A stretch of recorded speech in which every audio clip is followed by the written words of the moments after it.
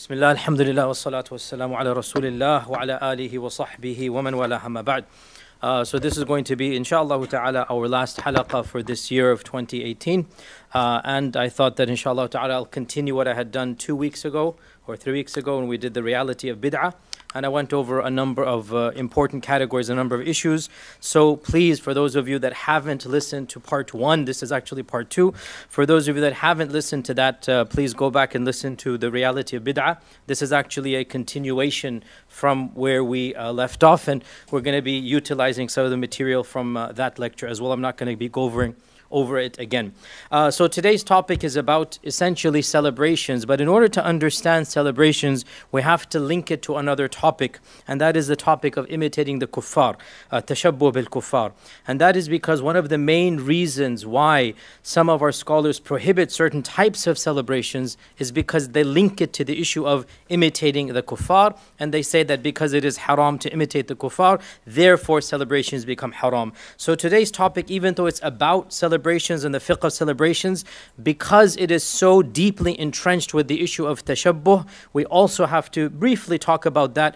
Obviously, I always make this disclaimer every single time, and I do so because a lot of times, even if you see my comments on Facebook and Twitter and whatnot, a lot of people they say, "Oh, you missed this point, you missed that point." I have one lecture and this topic can easily be many, many lectures. I can't do everything, so I always make this disclaimer. Still doesn't matter. People say I haven't covered this or that. Khair, inshallah. Anyway, so let us begin.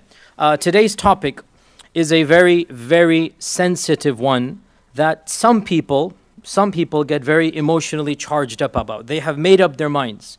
They're firmly entrenched in their p- opinions. And in reality, they have, whether they understand it or not, linked their identity really with this issue of making something haram. Such that when somebody comes along and says, oh, maybe it's not haram, they literally feel as if their identity has now been completely destroyed, as if they are no longer religious or practicing Muslims.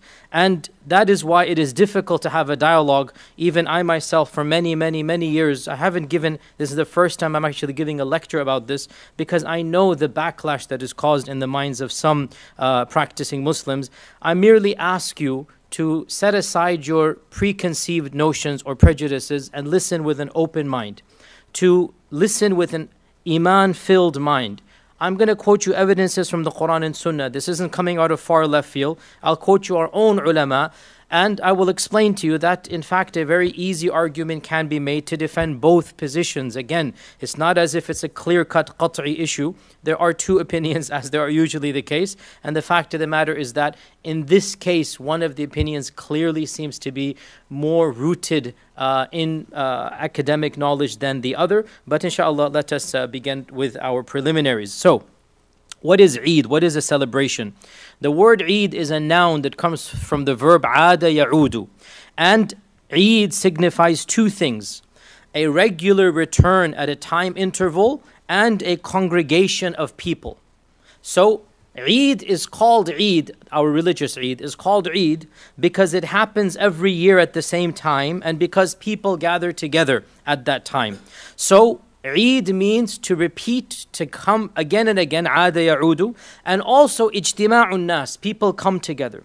So the reason why our holy festivals are called Eid is because number one, they occur regularly every day. The first every year, uh, the first of Shawwal is going to be our Eid al-Fitr, and the uh, tenth of Dhul Qa'dah is going to be our Eid al-Adha. It's a set in stone every year. And then also, what happens on Eid? Ijtima'un nas. People come together. It's a celebration. It is something that people do. This is why an Eid is called Eid, and we see the and this is the technical term, and we see the linguistic meaning of this in the famous hadith of the Prophet sallallahu alaihi wasallam, uh, which says in Arabic, it's in Sunan Abi Dawood, لا تجعلوا قبري عيدا. لا تجعلوا قبري عيدا. Don't make my qabr an Eid. Don't make my qabr an Eid. Now, this hadith, people easily misunderstand it. The Prophet is saying, don't make my qabr Eid. And a Muslim reads this hadith and says, how could anybody be happy and festive at the qabr of the Prophet. ﷺ. When the hadith says, Don't make my qabr an Eid, and when you say Eid in the Muslim mind, you think happiness, celebration, sweets, mitai, halwa. It's like, how can the qabr become an Eid? But the linguistic meaning of Eid is not festival per se. Linguistic meaning of Eid is what? To come repetitively, right? To make it a frequent point, to come there. So the Prophet is saying, don't make my qabr a regular place of visitation, i.e. Eid. Don't aada ya'udu, don't keep on coming back to my qabr and make it the goal. Rather than the masjid or the house of Allah subhanahu wa ta'ala. So using the word Eid over here. And of course, we know we have two Eids in Islam, uh, the two primary Eids that we have, Eid al-Fitr, Eid al-Adha, and this is something mujma alayh, alhamdulillah, there's no ikhtilaf uh, amongst all the scholars. Our Prophet entered Medina the first year of the Hijrah, as we know, and he saw the people celebrating two days. And he said, Allah subhanahu wa ta'ala has substituted your two days for two better days, Eid al-Fitr and Eid al-Adha. Okay, this is an important hadith, memorize it. He has substituted your two days with two better days, Eid al-Fitr and, and Eid al Adha. So this hadith clearly indicates that we have two primary Eids and it is something that is well known. Also, we have the word Eid in a nadhr hadith. We'll come back to this hadith as well. I'm going to quote it now. And this is the hadith reported in also Abu Dawood and Muslim Imam Ahmad, where a man came to the Prophet ﷺ and said, O Messenger of Allah, I made a promise, a vow, another to Allah to sacrifice a camel at a place called Buwana. Buwana is a small coastal village close to Yathrib on the, on the uh, Red Sea. So I made a nadhr to Allah to sacrifice a camel at Buwana. So the Prophet ﷺ said, Was this place, Buwana, a place where there was an idol or an Eid of the Eids of Jahiliyyah? And the man said, No. So the Prophet said, In that case, fulfill your vow. Go and sacrifice the camel at Buwana. Okay? So he asked, Was that land an Eid? And what does Eid over here mean? People coming there celebrating a religious festival. And the concept, therefore, of a place and a time being Eid is something well known and understood. And there are the hadith we already mentioned of the Prophet saying, Allah has given you two better Eids, so he's abrogating other Eids. And we have the statement of the Sahabi, this isn't a hadith, Abdullah ibn Amr ibn al-As said, Whoever lives in the land of idolatry and builds his house in the land of idolatry and celebrates their Nowruz, Nowruz is a pagan festival. It is still common in lands that used to be Zoroastrian. It used to be a Zoroastrian festival. The uh, Majus, they, they, they, had Nowruz. Uh, Nowruz, the Desi speakers, Nowruz, new day, new year. Right? Nowruz is Nowruz, the new year, new day. So Nowruz was the festival of Zoroastrians. And with the coming of Islam, the Zoroastrians basically left their Zoroastrianism, they embraced Islam. But by and large, the festival remained, and it still remains to this day in that region. And it is a festival of just a holiday, a new year now, right? So Abdullah ibn Amr ibn al said, Whoever lives with the mushrikeen, builds his house with the mushrikeen, celebrates their Nowruz and their festivals, he shall be resurrected with them. So we have over here the athar or the statement of the Sahabi that the Muslim should not celebrate Nowruz. Okay? But do keep in mind, we're going to come back to this point. When is he speaking? He's speaking when Nowruz is a religious festival. This is in the time where the Zoroastrians are everywhere and Nowruz has a clear religious element to it. It is the festival of Zoroastrianism. So the issue therefore comes that what is the Islamic verdict on celebrating festivals other than the two festivals of Eid al-Fitr and Eid al-Adha? So two primary reasons are given by those scholars who say that we should not celebrate festivals. Uh, as you can already tell, there are two opinions on this issue, as always the case, and uh, we're going to mention both of them. Those scholars that say one should not celebrate any festival other than Fitr and Adha, they have a number of excuses, primarily two. Number one, they say any festival other than the two Eids will constitute a bid'ah in Islam. Okay? So they say any festival is an innovation into the religion. And last halaqah that I gave on bid'ah, we went over the types of bid'ah, the categories of bid'ah, and we explained what is a bid'ah. And we say, and I say very clearly, any festival that is done without the intention of getting Allah's reward cannot be called a bid'ah. A bid'ah has to be in the matter of the religion. Okay? So some scholars were a little bit uh, encompassing, they stretched the definition of bid'ah and they basically argued that a festival is always associated with holiness and religiosity. And so introducing any festival inherently is going to be linked to bid'ah. And this is a stretch that belies experience. It goes against the common experience of the world that we live in. That there are religious festivals, everybody knows them, and then there are secular festivals that people do that are not of any particular faith. So that is a bit of a stretch, and we already talked about bid'ah. I'm not going to go down that basically today, it's already been there. Uh, essentially, any non religious festival cannot be argued as being bid'ah, it is nonsensical. Bid'ah can only be done when you do a festival and you think it is Islamic. And even then, we talked about the categories and we went over bid'ah idafi and all of that. And I mentioned that's last class in any case.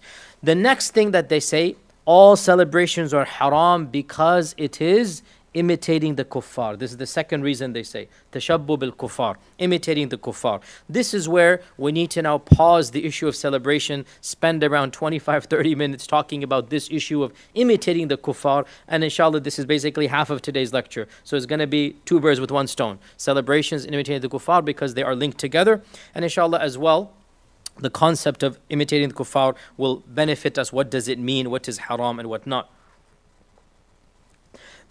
So now we begin. Is it true that our religion tells us to not imitate the kuffar? Response There are verses and a hadith that do seem to suggest some type of principle. It's not coming out of thin air. For example, the Quran says, Surah Baqarah, verse 120, وَلَن تَرْضَى عَنْكَ الْيَهُودُ وَلَا النَّصَارَى حَتَّى تَتَّبِعَ مِلَّتَهُمْ the Yahud and the Nasara will not be fully content with you Rida is the highest level of contentment. They're not going to be fully content with you until you follow their millah. Okay? Now, what does millah mean? So, some would say their millah means anything to do with them. So they make the argument that anything that does that is related to their ways, their lifestyle, their custom is their millah. So therefore, Allah Azza wa Jal is saying the Yahud and the Nasara will not have rida with you until you follow their millah, which means you shouldn't be following their millah. Is that clear? Very, they make a generic argument from this uh, verse. And the most explicit hadith, there's nothing explicit in the Quran that says don't make the tashabbuh with kuffar. It's generic stuff like this. But the hadith, there is a very explicit hadith, and it is authentic. It's in Abu Dawud. It's not in Bukhari Muslim, but it's in Abu Dawud. Uh, and that hadith is man tashabbaha biqawmin fahuwa minhum. This is the simple hadith that everybody should memorize. It is the, the fundamental hadith that talks about imitation. Man tashabbaha biqawmin fahuwa minhum. Whoever tashabbah and tashabbah means to imitate, to be similar to. Whoever imitates a group of people shall be counted as amongst them. Man tashabbaha biqawmin fahuwa minhum. Whoever imitates a group of people shall be counted amongst them. And this is the most explicit hadith that seems to indicate if you're tashabbaha with uh, Zoroastrians, then you will be counted amongst the Zoroastrians. If you tashabbaha with Buddhists, you'll be counted amongst the Buddhists. So this hadith makes a generic argument. Whoever tashabbaha, whoever imitates a people, shall be counted amongst them. We also have two dozen hadith, a lot of hadith. That's quite a lot that specifically prohibit or allow things based on not imitating the others. Okay, can anybody think of any hadith that comes to mind? There's a, there's a lot. What about it? Excellent example, simple example. The issue of Muharram, fasting one day. When he was told the Yahud fast that one day, what did he say? Oh, I'm going to fast two days then. Shows you what? Doing something different. Okay? Uh, the process, for example, said that be different from the Ahl Kitab. Let your beards grow and trim your mustache, because they would let their beards grow and grow their mustache said, Be different from them. Let your beards grow and trim your mustache. The Prophet said, Be different from the Yahud. They don't pray in their shoes, so you pray in their, your shoes. The Yahud back then would take their shoes off, and uh, the Prophet instructed Muslims to pray with their shoes. Ironically, the situation has changed 180 now, and the Yahud wear their shoes when they pray by and large, and we are all barefooted over here. Okay, but that we're going to get back to this point. So when the Prophet said this hadith, the Yahud would be barefoot when they prayed. But the point is, he said, be different from the Yahud. Pray in your shoes. Okay? And the Sahaba for their entire lives would pray in their shoes. The masjid, they would walk into the shoes. As you know, they would pray with their shoes on back then. And there are so many other things. The Prophet said, be different from the Ahli Kitab. Put henna, uh, do isbagh of your beard. Isbagh is to put henna on your beard. Yani dye your beard. When your beard goes white, it is sunnah to dye the beard. We should not keep it fully white as was the custom of the, uh, sorry, not, he said Khaliful Mushrikeen, sorry. Be different from the Mushrikeen. Because the Mushrikeen would like to have full white beard when you become older and the Prophet said that's not the sunnah. The sunnah is to have the isbagh or the henna dyed in. And the hadith of Abu Bakr's father as well uh, is mentioned over here. Said, don't imitate the kuffar, dye his beard, dye the beard. So we have many other instances, as I said, around 20 ahadith, where the Prophet says, be different from, do this. Be different from, don't do that. So we have a whole bunch of ahadith that clearly say that we should not be following the ways of other peoples. And also we have the hadith in Tirmidhi where the Prophet ﷺ criticized later Muslims and he said, You are going to follow the ways of those before you footstep by footstep and inch by inch, so much so that if they enter the lizard hole, you too will enter the lizard hole. Now, there are so many of these hadith. We should also mention one other hadith before we move on, and that is that all of these hadith came in late Madani time frame, not in Mecca and not in early Medina. And uh, there is a clear reason for this. And um, uh, Ibn Abbas narrates, Sahih Bukhari, Sahih Muslim, Ibn Abbas narrates that the Prophet ﷺ loved to agree with the Ahli Kitab in all those matters that he was not prohibited from doing so. And so when he migrated to Medina, he parted his hair in the middle like the Ahl Kitab did. This hadith is in Bukhari and Muslim. The Ahl Kitab, the Yahud, had their hair in a certain way, he followed them. Then, at some time in the Madani stage, he began to make mukhalafa. Okay? So this hadith shows us that at one phase of the seerah, in fact, the entire Meccan phase and some of the early Madani phase, there was no mukhalafa. There was no command to make no tashabbuh. This came later on. And this is a key point because our Prophet would never have done something that is intrinsically evil. He never drank alcohol. He never worshipped idols. Things that are intrinsically evil, he could never have done. The fact that at some stage he was wanting to copy Ahli Kitab shows that intrinsically it's not at all times, at all places evil. Rather, at certain points something happened. And what was it that happened? Well, I'll just mention it now, and this is what very few scholars point this out. The majority of scholars, they just go with the flow and they just say, oh, mukhalafa, mukhalafa. But the fact of the matter is, and some scholars did point out, this switch occurred. And that switch indicates there was a reason. And what is the reason? The reason is the political landscape changed. Islam became dominant and powerful. It became its own civilization. When Islam became its own civilization, then we should set the standard and not follow other standards. When Islam was being persecuted, when Islam was the, the one that's not you know, at the top at this stage, right? At that stage, it did not make sense to make mukhalafa. It would have been problematic to, uh, to oppose. And the Prophet did not oppose at that time. So the concept of, of uh, and, uh, and one can also say, by the way, one can, one can also say that at that stage, the Prophet wanted to copy the Ahli Kitab because the Ahli Kitab were closer to the truth than the pagans. So by copying the Ahl Kitab, he is still closer to the truth than paganism.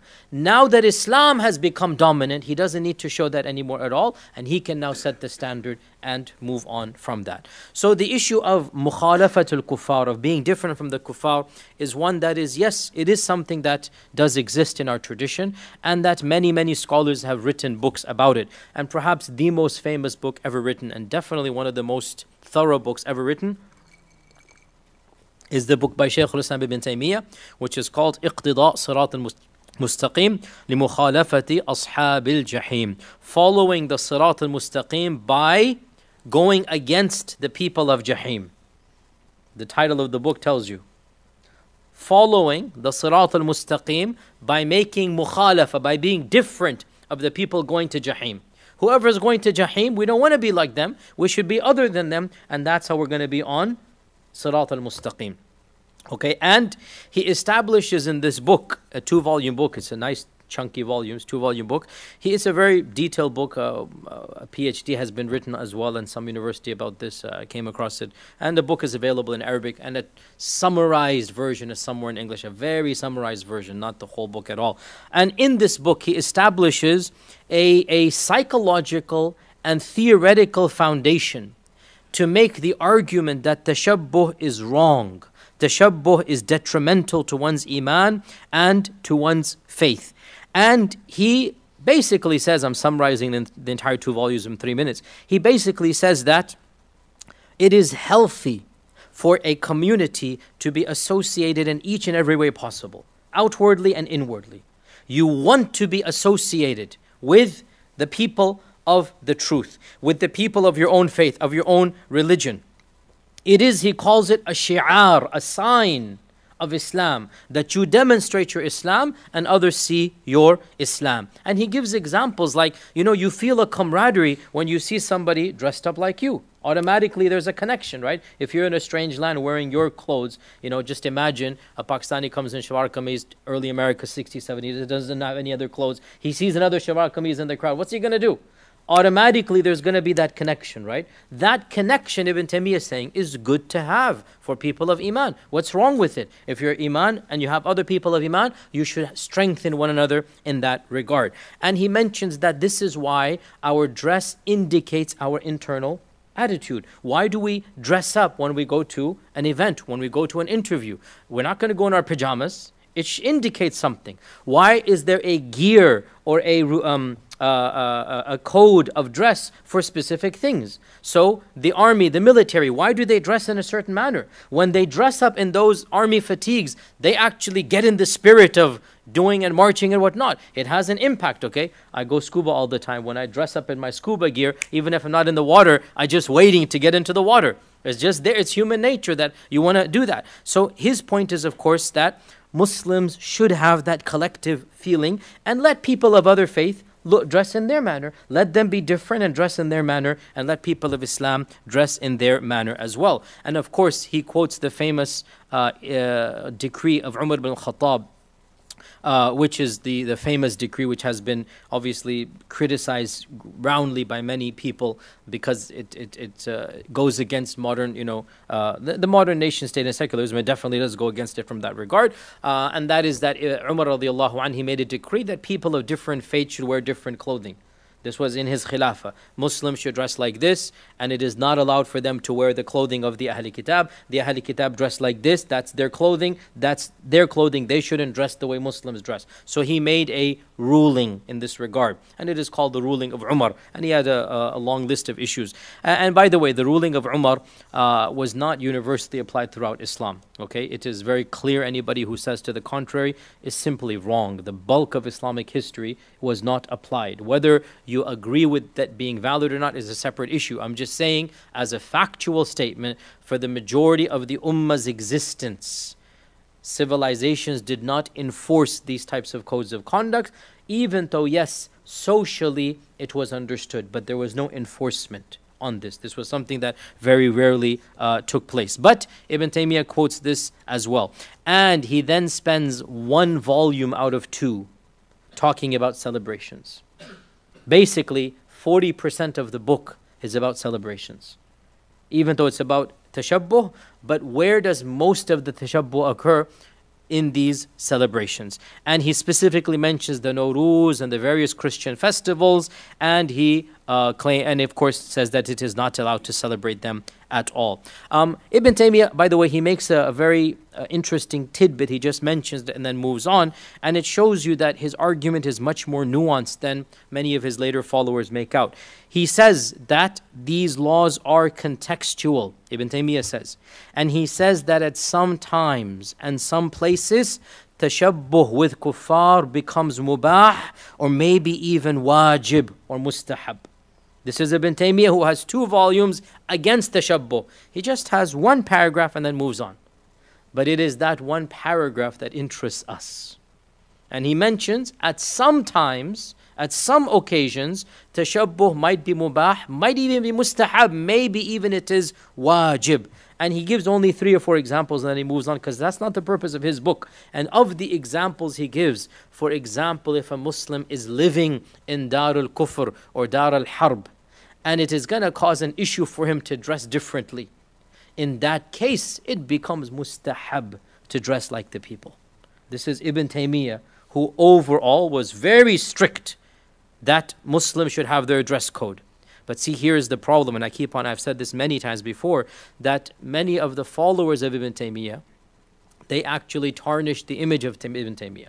And they just copy and paste his fatwa without understanding where he's coming from.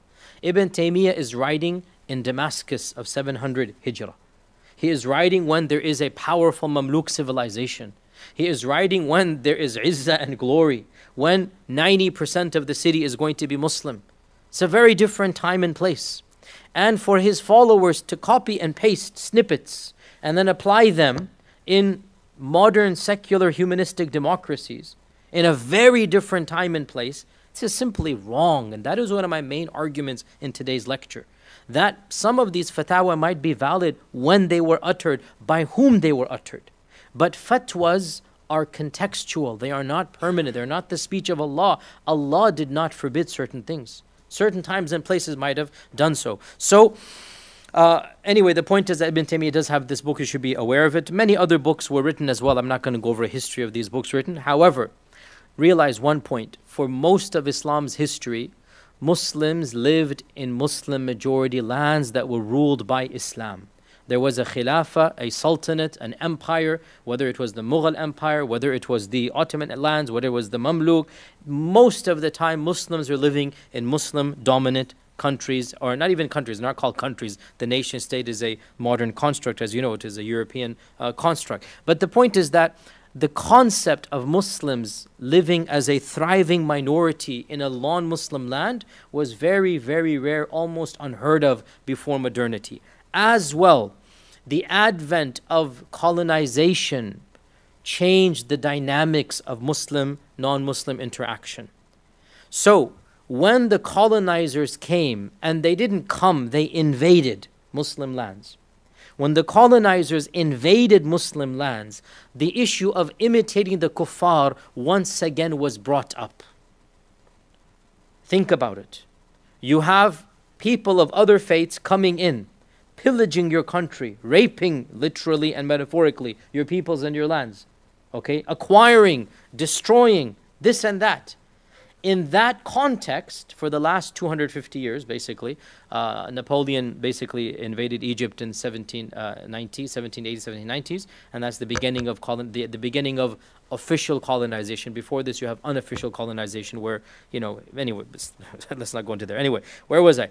Colonization began unofficially 1600s, officially late 1700s, and at that point in time, the issue of tashabbuh bil kuffar once again was brought to the forefront. Why? Can anybody tell me why?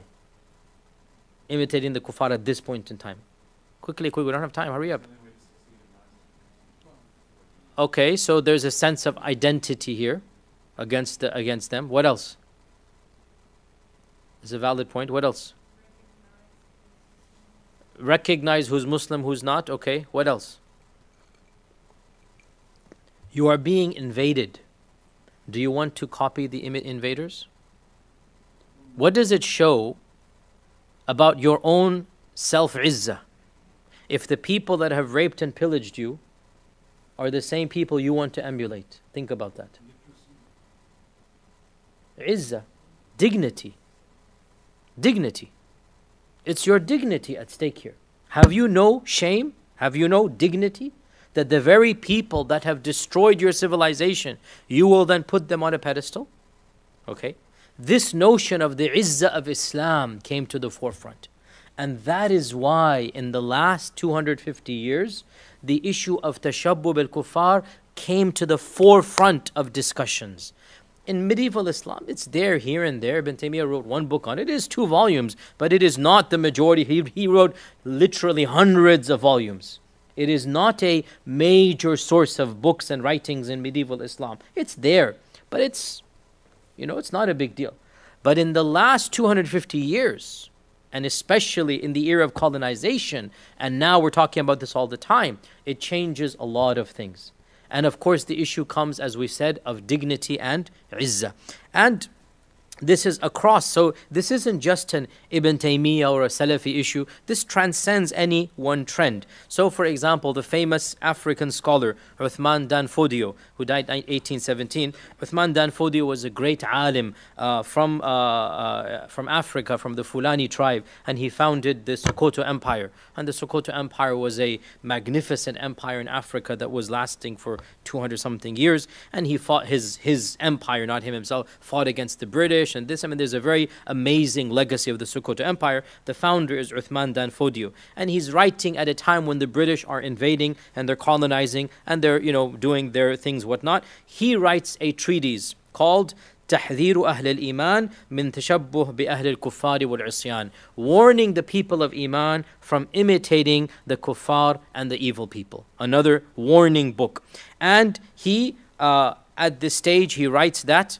Muslims should not be dressing in the style of the colonizers, of the people that are basically taking us over. And of course, it makes complete sense.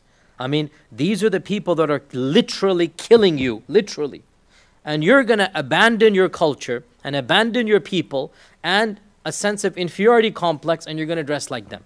Okay, complete makes completely sense. And of course, Uthman Dan Fodio, as we said, is not just any one trend of Islam. He's a Maliki scholar of the Ash'ari school of theology, a Qadiri Sufi, and he's writing in a way that very much allies with Ibn Taymiyyah. Very much. It's really the same spirit. And it's not just Maliki, Qadiri, Ash'ari. In India, when the British came, again, there was a very strong movement to oppose the British in everything that the British had to do. This was something that was very well known, and in particular, the Deoband school. And of course, our Indian brothers all know the Deoband school, and we should all understand that the Deobandi school is a direct reaction to the British invasion. The Deoband Madrasa was founded after the mutiny of 1857. Literally, it is literally caused by the collapse of the Mughal Empire. So the Deobandi tradition overall, and I say this with respect, I'm not Deobandi, so it's awkward whenever I talk about another tradition, but I'm equally critical of all and respectful of all now, inshallah, no big deal. Point is that one needs to understand what is the mindset of the Deobandi tradition. The Deoband is being established literally after the British have kicked out and exiled the last Mughal em- emperor. And the beautiful dynasty of Islamic India has collapsed. And the British have now taken over completely. What do you think is going to be the mindset of the ulama? It's going to be a very closed, very angry with the British. Legit. How would? Of course, they're going to be angry with the British. Of course, there's going to be this somewhat of a, a self izzah mentality, like I'm not going to do anything with the British. And so many fatwas were given uh, at the time that it is haram, impermissible to dress like the British, act like the British, eat like the British, learn the British language, go to British schools. And why should they not give such a fatwa? You understand that this is now a sense of we are Muslims. They have come and taken us over. And so fatwas were given. And at the time, even, it was considered haram by this group of ulama to study in the British schools. And of course, the British schools at the time were missionary schools, so think of that as well. There was an element of conversion wanting to take place as well. So, completely understandable, okay? My criticism is not of 1857 Deoband, is that 1918 Deoband hasn't changed much. That's the criticism. It's not that it happened when it happened, but the mindset is still the uh, same. And booklets were written. I came across one, Molvi Abdul Hay as-Surati. He wrote a booklet warning the Muslims of India from shaving their beards and from wearing coats and pants and from wearing Angrezon ki topi, the hat of the Angrez. Okay, this is he get this is something he said is haram to wear the hat of the British. You should wear the Muslim topi and not Angrezon ki topi. Okay, not the hat of the British. And again, I mean, this was written 100, whatever, 150 years ago, more than that. Of course, put yourself in the shoes of Indian Muslims. Why would you give up your land, your civilization, your culture, and want to emulate a group of people that have destroyed the Mughal emperor, empire? Think about that makes 110% sense. And, and this guy, of course, is a Hanafi Deobandi whatnot. He's not some, you know, and the reason I say that because some people say, oh, this is just a Salafi thing, the imitation of the kuffar. No, it's universal in Islam. And another last example, when Ataturk came along, uh, this enemy of Islam, he came along, he abolished the caliphate, and he forbade Muslims from wearing their Islamic headgear and he mandated in the 1923 or 4 he mandated all men must wear english caps english hats because you know in that day westerners all wore their their hats this is well known. I mean, you look up any any black and white movie, any westerner, western movie. Why are they wearing hats? It was the custom of the day to wear that cap. So Ataturk, you should know this. Ataturk legislated that every Turkish male must wear European hat. What do you think the ulama are going to say? Tell me. Haram. It's haram. We are Turks. We have our, who are you to come and tell us to wear? And so a certain Haji Atif Khoja, he wrote a pamphlet in which he claimed that wearing such a hat is a sign of the one who is morally bankrupt. No iman, no taqwa. So the hat becomes the sign of moral bankruptcy. And you know what? I agree with that for the time and place. Very legitimate fatwa, complete, makes sense. Okay? And by the way, he himself in Haji, Haji uh, Atif Khoja, he writes in his pamphlet that he, he is one of the few that mentions that the Prophet he was the one who initially he wanted to copy the Ahl al-Kitab. Then when the power balance shifted in the favor of Islam, then he wanted to be different from the Ahl Kitab. What he's implying is that the uh, Ataturk is doing the opposite. That the power balance is the opposite now.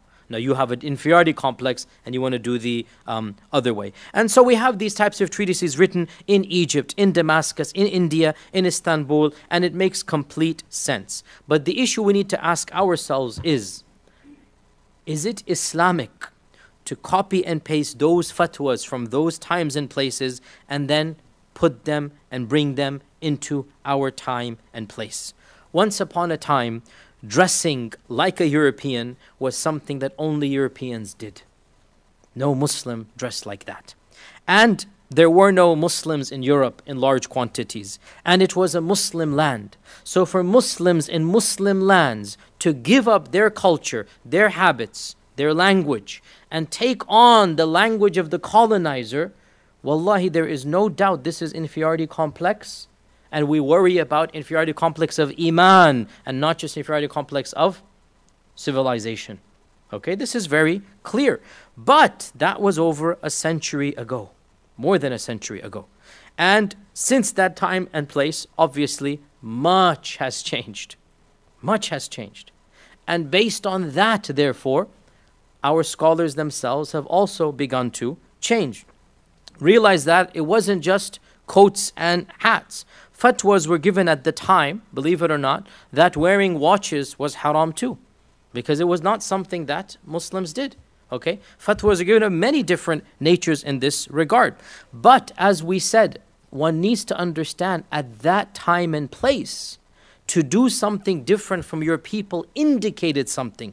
Ibn Taymiyyah himself writes, and now I quote that paragraph if a Muslim is in Darul Harb or in a land of non Muslims, then in that case he is not required to appear differently from the people. And then he mentions reasons and whatnot. And this is something that again was understood. Uh, the famous Egyptian scholar Muhammad Abduh as well. He was asked more than a hundred years ago. Uh, Muslims in South Africa, because South African Muslims I spoke about them a few months ago as well. Muslims from South Africa, they were wearing the European style uh, hat. And uh, he was asked this fatwa is it halal to wear the European style hat uh, in South Africa? And he gave the fatwa that it is permissible for them to do that because it shields them from the sun, because the situation is different, etc., etc. Now, we see therefore that we do have these rules of not imitating the kuffar, but looking at the text and the context, we can derive four principles, okay? And these are the four principles that I will use before I move on to the final point, which is the issue of celebrations. Firstly, the primary prohibition of imitating the kuffar deals with rites of worship and religious festivals. Therefore, anything that is religious of another religion, the default is that it is haram. Any ritual, any worship that they do, any festival that they do, if a person does the religious ritual that is unique to that ritual, there is no doubt they have fallen into haram. And if they do it thinking Allah will reward them, then it is haram and bid'ah. If they do it from a religion's perspective, it is haram and bid'ah. And if you now go back to those 20 ahadith I mentioned, almost all of them deal with specific rituals. Some of them are customs, but almost all of them deal with rituals. So, the first rule, the default is that imitating the religious rituals of other faiths is haram, and this is what those ahadith primarily refer to. Secondly, tashabbuh, imitation, can only occur to that which is unique and specific to a particular faith or civilization, not when it is generic to large groups of mankind. Tashabbuh has to be done for something, whether it is an action or it is a, a libas or it is a festival that is unique to one group of people. If it is done by large segments of different uh, civilizations, there is no tashabbuh because it is generic and many examples are here. Any type of cuisine, any type of technology, any type of mechanism that people live by, that they adopt from other civilizations and cultures, there is no tashabbuh when it is not unique to one civilization. If large segments of the world are doing something such that it is not recognizable to be one civilization's, then there is no tashabbuh. من تشبه بقوم فهو منهم. There has to be a qawm that you're making tashabbu of. And there are many examples of this. You know, the uh, Salman radiallahu anhu suggestion to build a ditch. Where did it come from? The Persians. Did the Prophet say, oh, I'm not going to do that? No. The issue came of uh, the of wearing a ring with a st- stamp on it. The first time he wrote a letter to Heraclius, they said to him, the Sahaba said, Ya Rasulullah, it is the custom of those people that they will never accept a, a, a letter from a ruler except that there's a wax seal on it. So the Prophet didn't say, Oh, tashabbu bil kuffar, I can't do it. He said, Okay, make this ring for me. Muhammad Rasulullah, as we know. He made that ring, he put the wax seal, he sent it to Heraclius. There is no tashabbu. This is the culture of the world. That's what everybody does. So he did it. Okay? And uh, so many other things as well. I mean, cuisine wise, our Prophet never ate rice in his whole life. He never ate rice. Is somebody going to say it's tashabbuh to eat rice? No, eating rice is not of one civilization. It's generic food. Nothing tashabbuh in this as well. So we said that the issue of tashabbuh it must be something that is unique to a specific faith, a specific civilization. Also, it is very important to note, and Ibn Qayyim himself mentions this, that the whole issue of looking different needs to be taken into the context that our Prophet himself did not look radically different from his own people. This is something that a lot of those who talk about tashabbu bil kuffar they ignore. When the Prophet said, Don't make tashabbu bil kuffar, what was he wearing? The same clothes as the Quraysh of Mecca. The exact same clothes. He did not bring about a fashion revolution. Think about this is something that the, the, the, the more stricter strand, for example, that they always want to say don't, don't, don't, they don't understand the context even of the original ahadith. The Arabs dressed in a certain manner. Our Prophet was Arab. Here's the point. من تشبه بقوم فهو منهم is not necessarily evil all the time. Whoever imitates a group is of them. The Prophet imitated the Arab. Is he an Arab? Yes or no?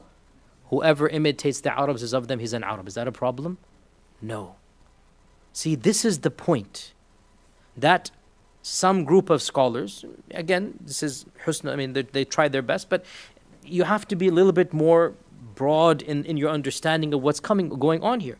Ibn al-Qayyim himself, this isn't some left-wing progressive talk. Ibn al-Qayyim himself mentions in his book, um, uh, this is not in Ahkam al it'll come to me now, I think it's in Amr al He mentions that the asl, when it comes to the clothing, the base default and the sunnah is that the person wears the clothes of his people as long as it is halal to do so. Obviously, if you're in a land that doesn't have clothes, it's not sunnah to go naked. So, as long as it is halal to do so, our Prophet dressed in the clothing of his people. And he dressed up in accordance with the clothing of his people. Hadith that when the Prophet visited, when dignitaries visited, he had a special Yemeni cloak he would wear for them. This is dressing up. Now, who told our Prophet that a Yemeni cloak is considered dressing up? Did he invent that, or was that the custom of the time? You see? It was the custom of the time. Yemen was a better civilization than Hijaz at that time. And Yemen had better cloth and better, you know, embroidery.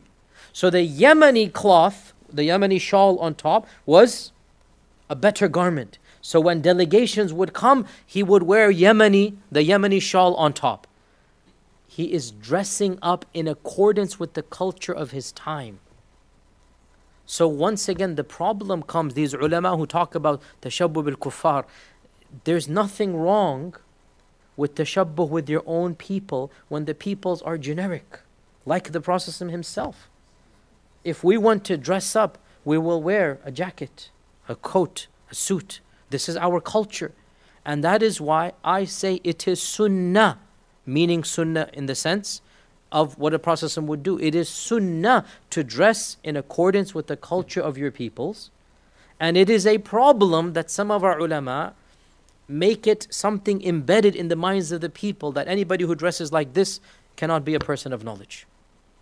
He must be dressed, and here's the irony. If you want to look at where a person is coming from, look at the clothing of their ulama. So people of certain persuasion will dress in the kurta, shalwar, white with the turban, you know, and they go back to 1700 India, and that's the sunnah for them. Others are going to be dressing in a uh, Moroccan, you know, thobe with the type of turban, and that's basically 1800 Morocco. Others are going to dress like the Saudi styles of the 1700s. They think that is the Sunnah, and each one of their Sunnahs is essentially their founders of their own tradition, and they think this is the default and they don't see the Prophet himself never wore the clothes that they think is the sunnah. Never. Not even the thobe that they wear, because that fine cotton that they're wearing, with the nice buttons made in Italy, huh? with the beautiful silwar that they're wearing, and the underwear, let's not forget that as well right? Because again, let's be honest here. See, and again, I have to some to be a little bit facetious, a little bit sarcastic, because it is irritating that the very people who tell us don't don't they fall into it without even understanding. Okay, look at the watches that they're wearing. Okay, look at the pens that they have. Look at where is it coming from? The small things, you know, the the jacket, even on the thobe, there's going to be a jacket. Where did that come from? So, in their own way, they are taking even as they tell us living in Western lands to follow them in their clothes, thinking it is the Sunnah. No, it is not the Sunnah. And if you understand this point, then as we said, the tashabbuh can only take place, rule number two, in something that is unique and specific to a particular faith or a particular civilization. Pants and shirts are now no longer a part of one civilization. In 1750 Mughal India, yes, it was. Why would an Indian in 1700 Delhi dress like the Angrez? Why? No reason. But times have changed. And that fatwa is no longer applicable. There is no inferiority complex anymore. We dress up because this is the way we dress up. There's no notion of that's us and them anymore. The Angrez have not only left India, we are in their lands now. Okay? There's whole, Angrez is the British. The Angrez are no longer in India, well, indirectly at least, but uh, they're not directly in India. We are now in their lands. Whole situation has changed. So this is the second rule. The third rule here is that there is no tashabbuh without an intention for tashabbuh. You cannot have tashabbuh without wanting to have tashabbuh. In other words, something that's just happening, something that you just do, can never be tashabbuh. How? Two points, or actually even say three points. Number one, the word tashabbuh means there is an extra effort because a little bit advanced Arabic here, but just bear with me. Tashabbuh ala wazni tafa'ul. Tafa'ul means you did something to get there. Tashabuh means to be similar intentionally or unintentionally. Tashabbuh, you wanted to be similar. The word used is tashabbuh, not tashabuh. And tashabuh means to be similar. Our Prophet did not forbid tashabuh. He forbade tashabbuh. Tashabbuh means you go out of your way and you intend, I want to copy that person. Anything that you do just because you're doing it, because everybody's doing it, that's not tashabbuh. Also, we say, innamal a'malu bin niyat. Actions are by intentions. And so, if there is no intention for tashabbuh, then it is not tashabbuh. And of course, there's something some of the classical scholars as well said. Ibn Abidin, a famous Hanafi alim, um, he mentions in his book that tashabbuh is only makruh when the issue itself is blameworthy and when the intention is to imitate. When the intention is to imitate. When the intention is not to imitate and the issue is generic, what clothes you what food you're going to eat, there's no tashabbuh in this regard. Therefore, that which occurs naturally amongst any groups of people, this might be tashabuh, but it is not tashabbuh. And tashabuh is not haram. Tashabbuh is haram. Fourthly, that which is no longer unique to non Muslims is no longer haram to imitate. Something that might have been unique in the past but is no longer unique now it is no longer haram to imitate. And this is something, again, this isn't something I'm inventing. Classical ulama mentioned many examples in medieval times. The problem comes, and I say this with utmost respect. Many of our ulama still, their mindset is in medieval times. They cut and paste those fatwa and they stick to them without allowing their own intellects to think about the context of those fatwa and broaden. Not all of them, but some or many of them are like this. And this is unfortunately, in my humble opinion, you've listened to my lectures enough to know, this is one of the reasons why, unfortunately, there is a disconnect between many of the scholars and between the populations of Muslims. A lot of times, the scholars, with my utmost respect to them, they are operating in their own little circles of influence amongst their very practicing, very hardcore conservative Muslims, and the rest of the ummah is disconnected from them. And there are reasons for this, one of them being, again, anyway, so this is why my criticism here. When the situation changes and it is no longer unique to the kuffar, then it is no longer prohibited to imitate. And this is why you see me dressed up in this manner over here. Whereas I myself, 200 years ago, would have fully agreed with the fatwas that it is haram to dress up like this. Because dressing up like this 200 years ago would imply something very different. In India, in Ottoman Turkey, in Damascus. Whereas now, times and places have changed. And again, this isn't anything new. For example, there are many athar of the, the Sahaba. Some even say there's a da'if hadith, but there are athar of the Sahaba. There are definitely you know statements where wearing a certain type of cap, which is called a tayalisa, was considered to be something not good to do. However, this tayalisa cap was worn by the Jews of a certain place. However, and it resembles the type of, frankly, frankly, the shimagh that some of the Saudis wear these days, something similar to that okay, and many other cultures wear. Okay, it resembles like that. Um, but uh, the tayalisa was considered to be forbidden or makruh by many of the classical ulama, the first two, three generations, because it was something the Yahud did. Slowly but surely, the Muslims kept on wearing, wearing, wearing until it became something they themselves did. Ibn Hajar comments on this prohibition and he says, this would only have been forbidden when the tayalisa was something that was only worn by the Jews. But that is no longer the case now, so it is permissible to wear it. This is Ibn Hajar writing, not some left field progressive guy. And in fact, one of the famous scholars of hadith was called Imam at Tayalisi because he was known from a family of this. He was called Imam at Tayalisi. And the same goes for many other issues. Uh, Imam Ahmed, for example, and some of the early scholars, many of the early scholars, even some Sahaba, they insisted that Muslims wear their turbans with tahniq. And tahniq means you take it over here and you take it under your beard and you throw it behind. Okay? So this is the tahniq, it goes underneath it. And they said that it is makruh, it shouldn't be done, that you don't practice tahniq. This is the first generation. This was the Hijazi style of wearing the turban, let's say.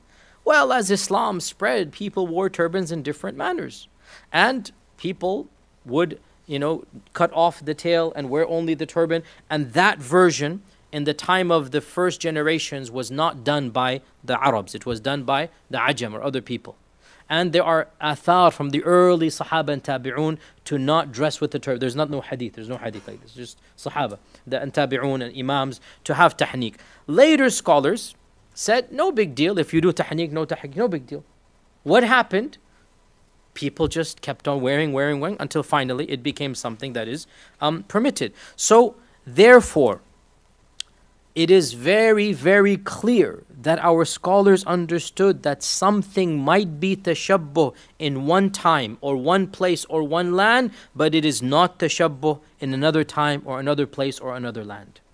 And that is, I think, where unfortunately a lot of times when you hear these haram fatwas, those scholars are not following this simple rule. Certain things might have been tashabbuh, they're no longer tashabbuh. Now, this is pretty clear.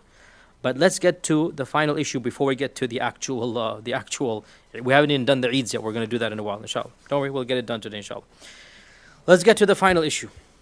We talked about a culture ceasing to be unique to uh, non-Muslims, like the libas. What if a religious ritual ceases to be a religious ritual? You see the difference between the libas and the ritual? What if something that used to be from the deen of the non Muslims slowly over time stopped to be from their deen and became something from their culture? This is the key point here. Okay? Does the ruling is it related to the origin such that no matter what happens we will go back to the origin? Or is the ruling related to how people perceive it? Such that if it's ritual, it will be ritual, and if it is custom, it will be custom. Remember, rule number one was rituals are haram to imitate. That's rule number one, right? Well, what if it used to be a ritual, but it is now a custom and no longer a ritual? Okay? Here is where we have two camps. Here is where we had two schools of thought a well known position, and this is the one that basically makes these celebrations haram, is that it doesn't matter how people view it, we go back to the origin.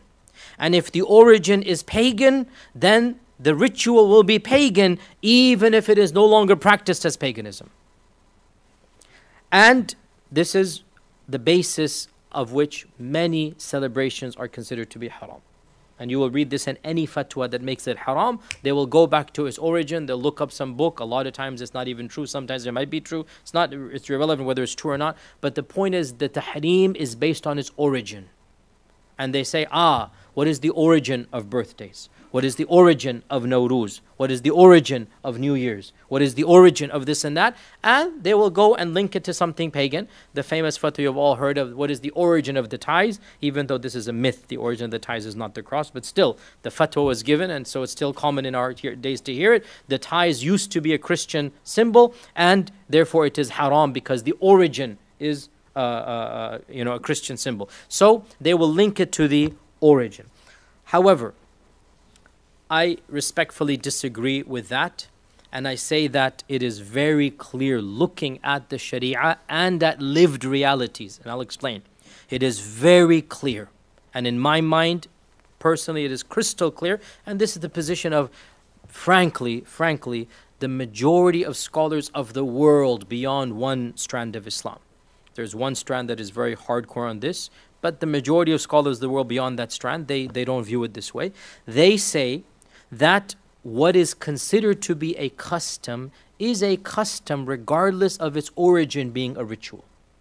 You look at the niyyah, innamal a'malu bin niyyat. You look at the niyyah and they actually bring the evidence of the hadith of Buwana. Remember this, the slaughter of the camel? They bring that back. There's an interesting point here. In one version, when the man comes and says to the Prophet, I want to slaughter a camel in Buwana, in one version, Ibn Majah, the Prophet ﷺ says, Do you find something of Jahiliyyah still in your heart in Buwana? And the man says, No. So the Prophet said, In that case, go to Buwana. Notice what he linked it to. Do you find some of the feelings of Jahiliyyah? Do you still have that veneration? Is that something? Why Buwana? What is there? Is that something you're linking to Jahiliyyah? He said, No. In that case, then go. So, Niyyah matters. Not that Buwana might have been a pagan land a thousand years ago. The man did not feel any attachment religiously to Buwana. Do you have anything in your heart of Jahiliyyah? No? Okay, then go do it. This hadith is in Ibn Majah. And from this, I would say the majority of scholars beyond that one strand that thinks they're following Ibn Taymiyyah, but I don't think they're following Ibn Taymiyyah, that one strand, they, beyond that one strand, they basically say, we don't look at the origin 15,000 years ago, 5,000 years ago, 2,000 years ago. We look at the lived reality. And based on that, therefore, they say if the people don't view this as being a ritual, and they view it as being a custom, then we will view it as being a custom and not a ritual. And this is, I would say, the lived experiential reality of human beings. Let us look at the issue of birthdays. Who in the world celebrates a birthday thinking of some type of paganism? Nobody. Even pagans who do pagan stuff don't do birthdays with the niyyah of paganism. They go to the woods and do whatever they do. They don't do birthdays. Rituals of paganism are gone. By the way, I don't, I don't even know if it is true because, to be brutally honest, a lot of times these fatwas they find hodgepodge type of things and they bring them in. Academic studies need to be done that are a little bit more thorough. Is it really something that is 100% solely coming out of paganism? But even if it is, even if it is, it doesn't change the fact that it is no longer done. So, those scholars who say, let's look at the origin, they will also say, for example, you cannot buy Nike. Nike is haram. It's a well known fatwa. Why is Nike haram according to this group? Because the guy who uh, you know, uh, made Nike. Where's the Nike guy who works here? Where's our Nike guy? He's not here? Huh? We have three people from Nike in our masjid, mashallah. Did you not know that? You should get free, free, free Nike gifts, alhamdulillah, as well. If you, if you, if you know them well, they'll give you a free Nike shoe. Give them your shoe size. size. So they say Nike is haram. Why is Nike haram? Because that swoosh is the symbol of. What is the symbol of? Which one? You're the Nike guy. Yeah, see here we have the Nike guy, okay? No, don't worry. I'm not going to say it's haram. Don't worry. You can raise your hand. You should know the symbol of your own company. It is the Greek god of victory. It is the Greek god of victory.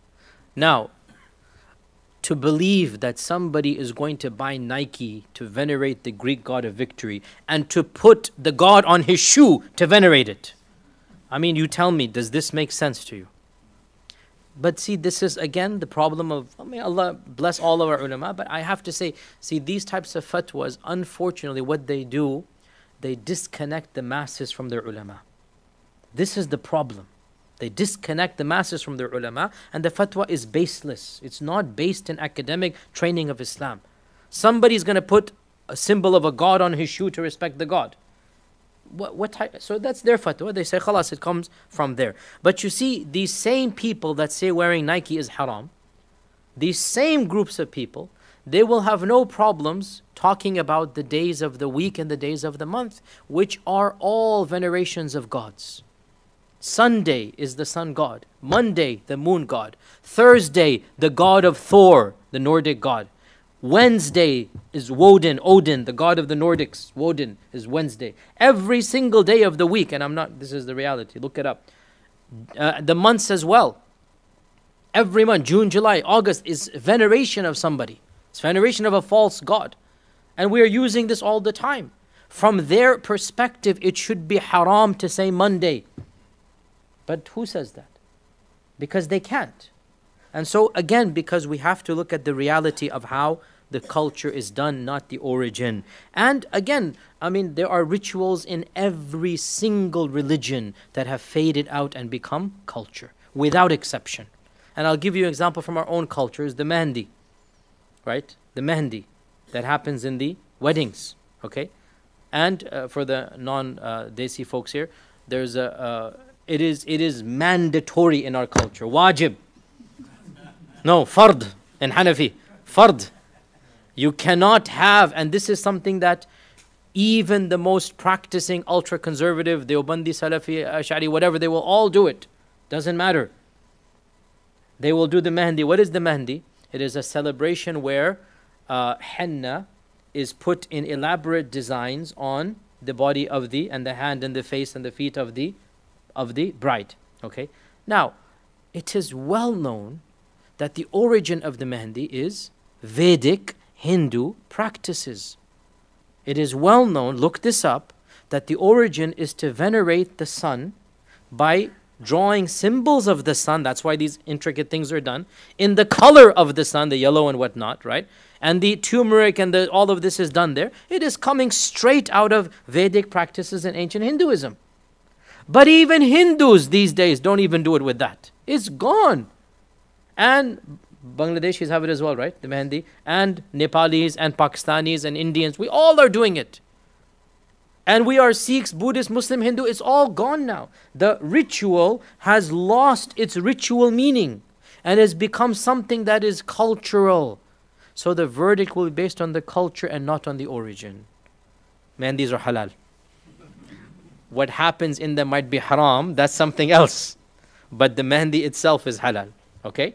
See, that's the point. So we look at what is going on over here. So, based on all of this, I mentioned four rules. We can summarize the issue of tashabbuh and then move on to celebrations. In reality, tashabbuh applies in two and only two scenarios. That's it. The tashabbuh that is haram, only two things.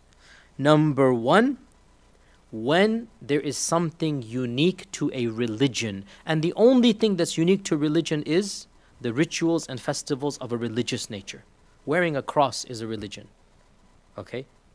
Having the skull cap is a religious thing, that type of skull cap. Okay? The Buddhist um, yellowish thing. Okay? Uh, menorah is a particular religion. So that's or going to the church or synagogue. This is a religious ritual. Tashabbuh in that is clearly not something we do. And number two, when a Muslim intentionally goes out of his culture and civilization in order to feel a sense of pride in a non uh, in a civilization or culture other than his own. This is an inferiority complex that is haram because he should take izzah in his own people. Simple as that. If he happens to be of those people, like the Prophet was Arab, like we are Americans, there is no tashabbuh when we dress like our own people. We're not going out of our way to dress like some, somebody else in order, and also, as Ibn Taymiyyah said, even if a Muslim were to be visiting their lands, he's not doing it to get izzah, he's doing it to get by through customs without being pulled aside, being dressed in a thobe and a turban or something. No problem there, Islam's not that strict. This is Ibn Taymiyyah writing, the same guy who wrote two volumes on Iqtidas al-Mustaqim. But again, his followers don't really read him, they cut and paste from him. They don't read him as I, I criticize those groups of people that they only read Ibn Taymiyyah, they don't think Ibn Taymiyyah. They just, you know, they don't really understand Ibn Taymiyyah. In any case, so now we get to, after all of this, the conclusions of the actual Eids, okay? So, with that very necessary prelude of tashabbuh, we get to the issue of celebrations, Eid. And we'll mention four, um, four aspects. Number one, celebrating a celebration yourself. celebrating a celebration yourself. There are four types of celebrations. The first, any celebration that is personal and private, that is something that is not communal and something that is not religious. Any personal or private celebration that is nothing to do with the religion has nothing to do with Islam. Islam is not making it haram or halal or makruh or mubah. The celebration is neutral. The Sharia did not dictate personal celebrations. There's nothing in the Sharia that dictates anything about personal celebrations. The ahadith about Allah substituting two Eids, as we're going to come to, if anything, it is a communal a personal celebration cannot be a bid'ah because there's no religion involved. And the Sharia did not dictate when you can be happy and when you can throw a party and invite friends over. There's nothing in the Sharia for or against this. It is neutral. So if you graduate and you want to have a festival, go ahead. If you get a new house, you have a festival, go ahead. If you're bored and you want to have a festival, go ahead. If you think it is the day you were born or whatever, your birthday, and you want to have a festival, go ahead. The Sharia is not telling you anything about this. There's nothing in and of itself that forbids it. And therefore, these personal celebrations, and in particular, the two most famous ones are uh, birthdays and anniversaries there is nothing in the Sharia to forbid them. Now, the group says it is bid'ah.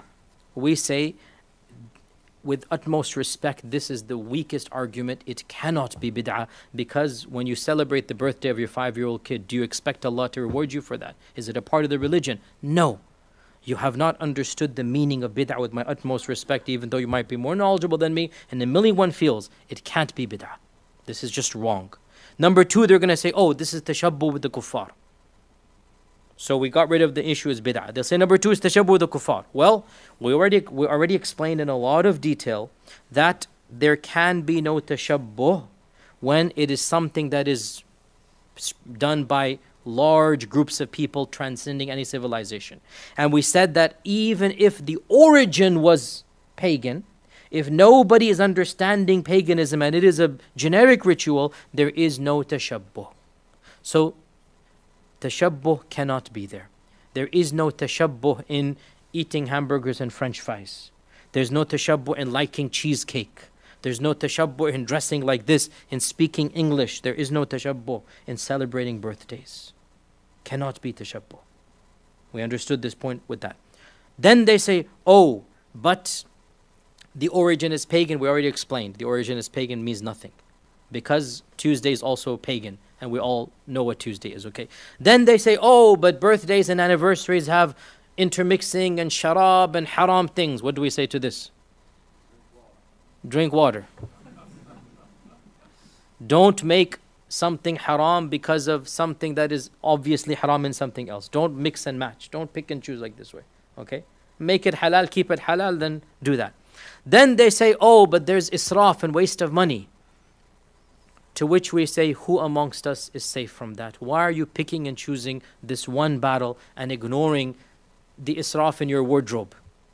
The israf in going out to restaurants, the israf this and that, and then you want to prohibit the five year old birthday, five year old child's birthday, and say this is israf.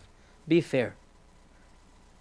Birthdays are halal because there's nothing to make them haram. Is that clear? The default, everything is halal. You have to prove it's haram. And anything they throw at you, and I've been saying this for more than a decade, it's nothing new you're hearing from me, but because people are so sensitive in this regard, it cannot be tashabbuh. And it's ironic you're speaking to me in English, wearing pant and shirt, living in America, and you're talking about birthdays being tashabbuh.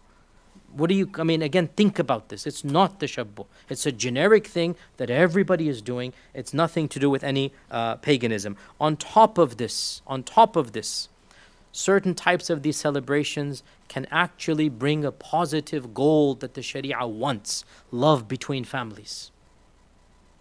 Anniversaries are of the most easiest ways to win your wife's heart back, mashallah, tabarakallah. Please don't forget your anniversaries, right? I, I say it is sunnah, meaning meaning not sunnah like sunnah here meaning the goals of the sharia sunnah not the prophet sunnah obviously it is of the goals of the sharia to celebrate your anniversary. Quote me on that. No problem. It is of the goals of the sharia to celebrate your anniversary. Why not? Of the goals of the sharia to bring love between a couple. And allah created women that way. They love these dates. Us we don't even think about the dates. That's the problem right? Make sure you put the date in your calendar 10 times. Like put it right now. Like whatever is your anniversary make there. And then surprise, go out, have a nice party, do something halal, obviously, no sharab, just drink some, some grape juice, no problem, keep it halal, but celebrate, why not? What is wrong? How can the Sharia forbid a celebration between a husband and wife that will increase their love? Think about, again, those ulama that make it haram based on what? So, we say all of this is completely, there's no basis to make it haram. طيب. We talked about the four types of celebration. Number one, personal celebrations. Number two, celebrations that are of a communal nature but are non religious. Fourth of July or national days in Muslim lands or whatnot. So, a group of scholars say that it is haram, again, as we, as we said. And they quote the hadith Allah has given you two days better than those two days. I understand where they're coming from, and frankly, let me be frank here. When it comes to joint communal civilizational holidays, they have a better point because the hadith can be understood to apply to communal holidays.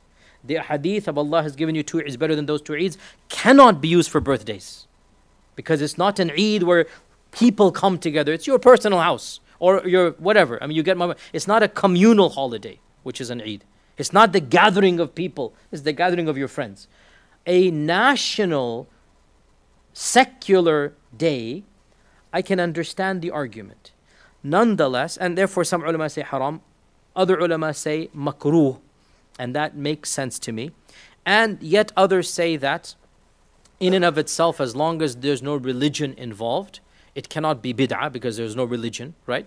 And if it is done for any other goal or whatnot, it becomes mubah or whatnot, or maybe even makruh. But the point is, to argue that it is haram is simply a big word. Where did you get haram from? Even the hadith, Allah has substituted your two days for two better days, does not indicate tahrim. Substitution does not indicate tahrim. If the Prophet had wanted to, he could have said very easily, Allah has forbidden any Eids other than our two Eids. And that would have, in that wording, we could have forbidden any national secular holiday. That wording, but he didn't he talked about two religious festivals of Jahiliyyah. And he said, Those two religious festivals, get rid of them. And Allah has given you two better religious festivals. So, religious festivals, we already agreed. We're going to come to this as well. So, bottom line, generic, and, and by the way, we're talking about you celebrating, meaning you doing it. If you are the president of the country, should you endorse a secular? This is what we're talking about. We're going to come to number two, which is attending. We don't do the 4th of July. We are, we are witnessing. There's a difference between the two. We don't do Thanksgiving. We're witnessing. There's a difference. We're talking about you instituting that. Maybe it's makruh. Maybe it's mubah. Definitely not haram. And definitely not wajib. Okay? We can eliminate those two. Makruh to mubah is where I would say a secular holiday, you instituting it. Okay? Number three, a holiday that is uniquely religious. Here we have no problem saying this is where the Sharia says no. We do not celebrate Diwali. We do not celebrate a festival to another God. And we do not celebrate Christmas as Muslims. We do not institute those celebrations. We don't bring the tree into our house and hang, but we don't do that. It's not our religion to do that. That's what they do. We have ours. So clearly, that's religious celebrations, it is haram. Number four, is a celebration that is in between two and three. That's the problem, okay? Or one and three. Little bit of this, little bit of that. Such as Thanksgiving, such as Halloween. It's not clear cut secular, 4th of July. And it's not clear cut. Well, I said Thanksgiving, sorry, let me take that back. Thanksgiving, I would say is secular. Sorry, let me take that back.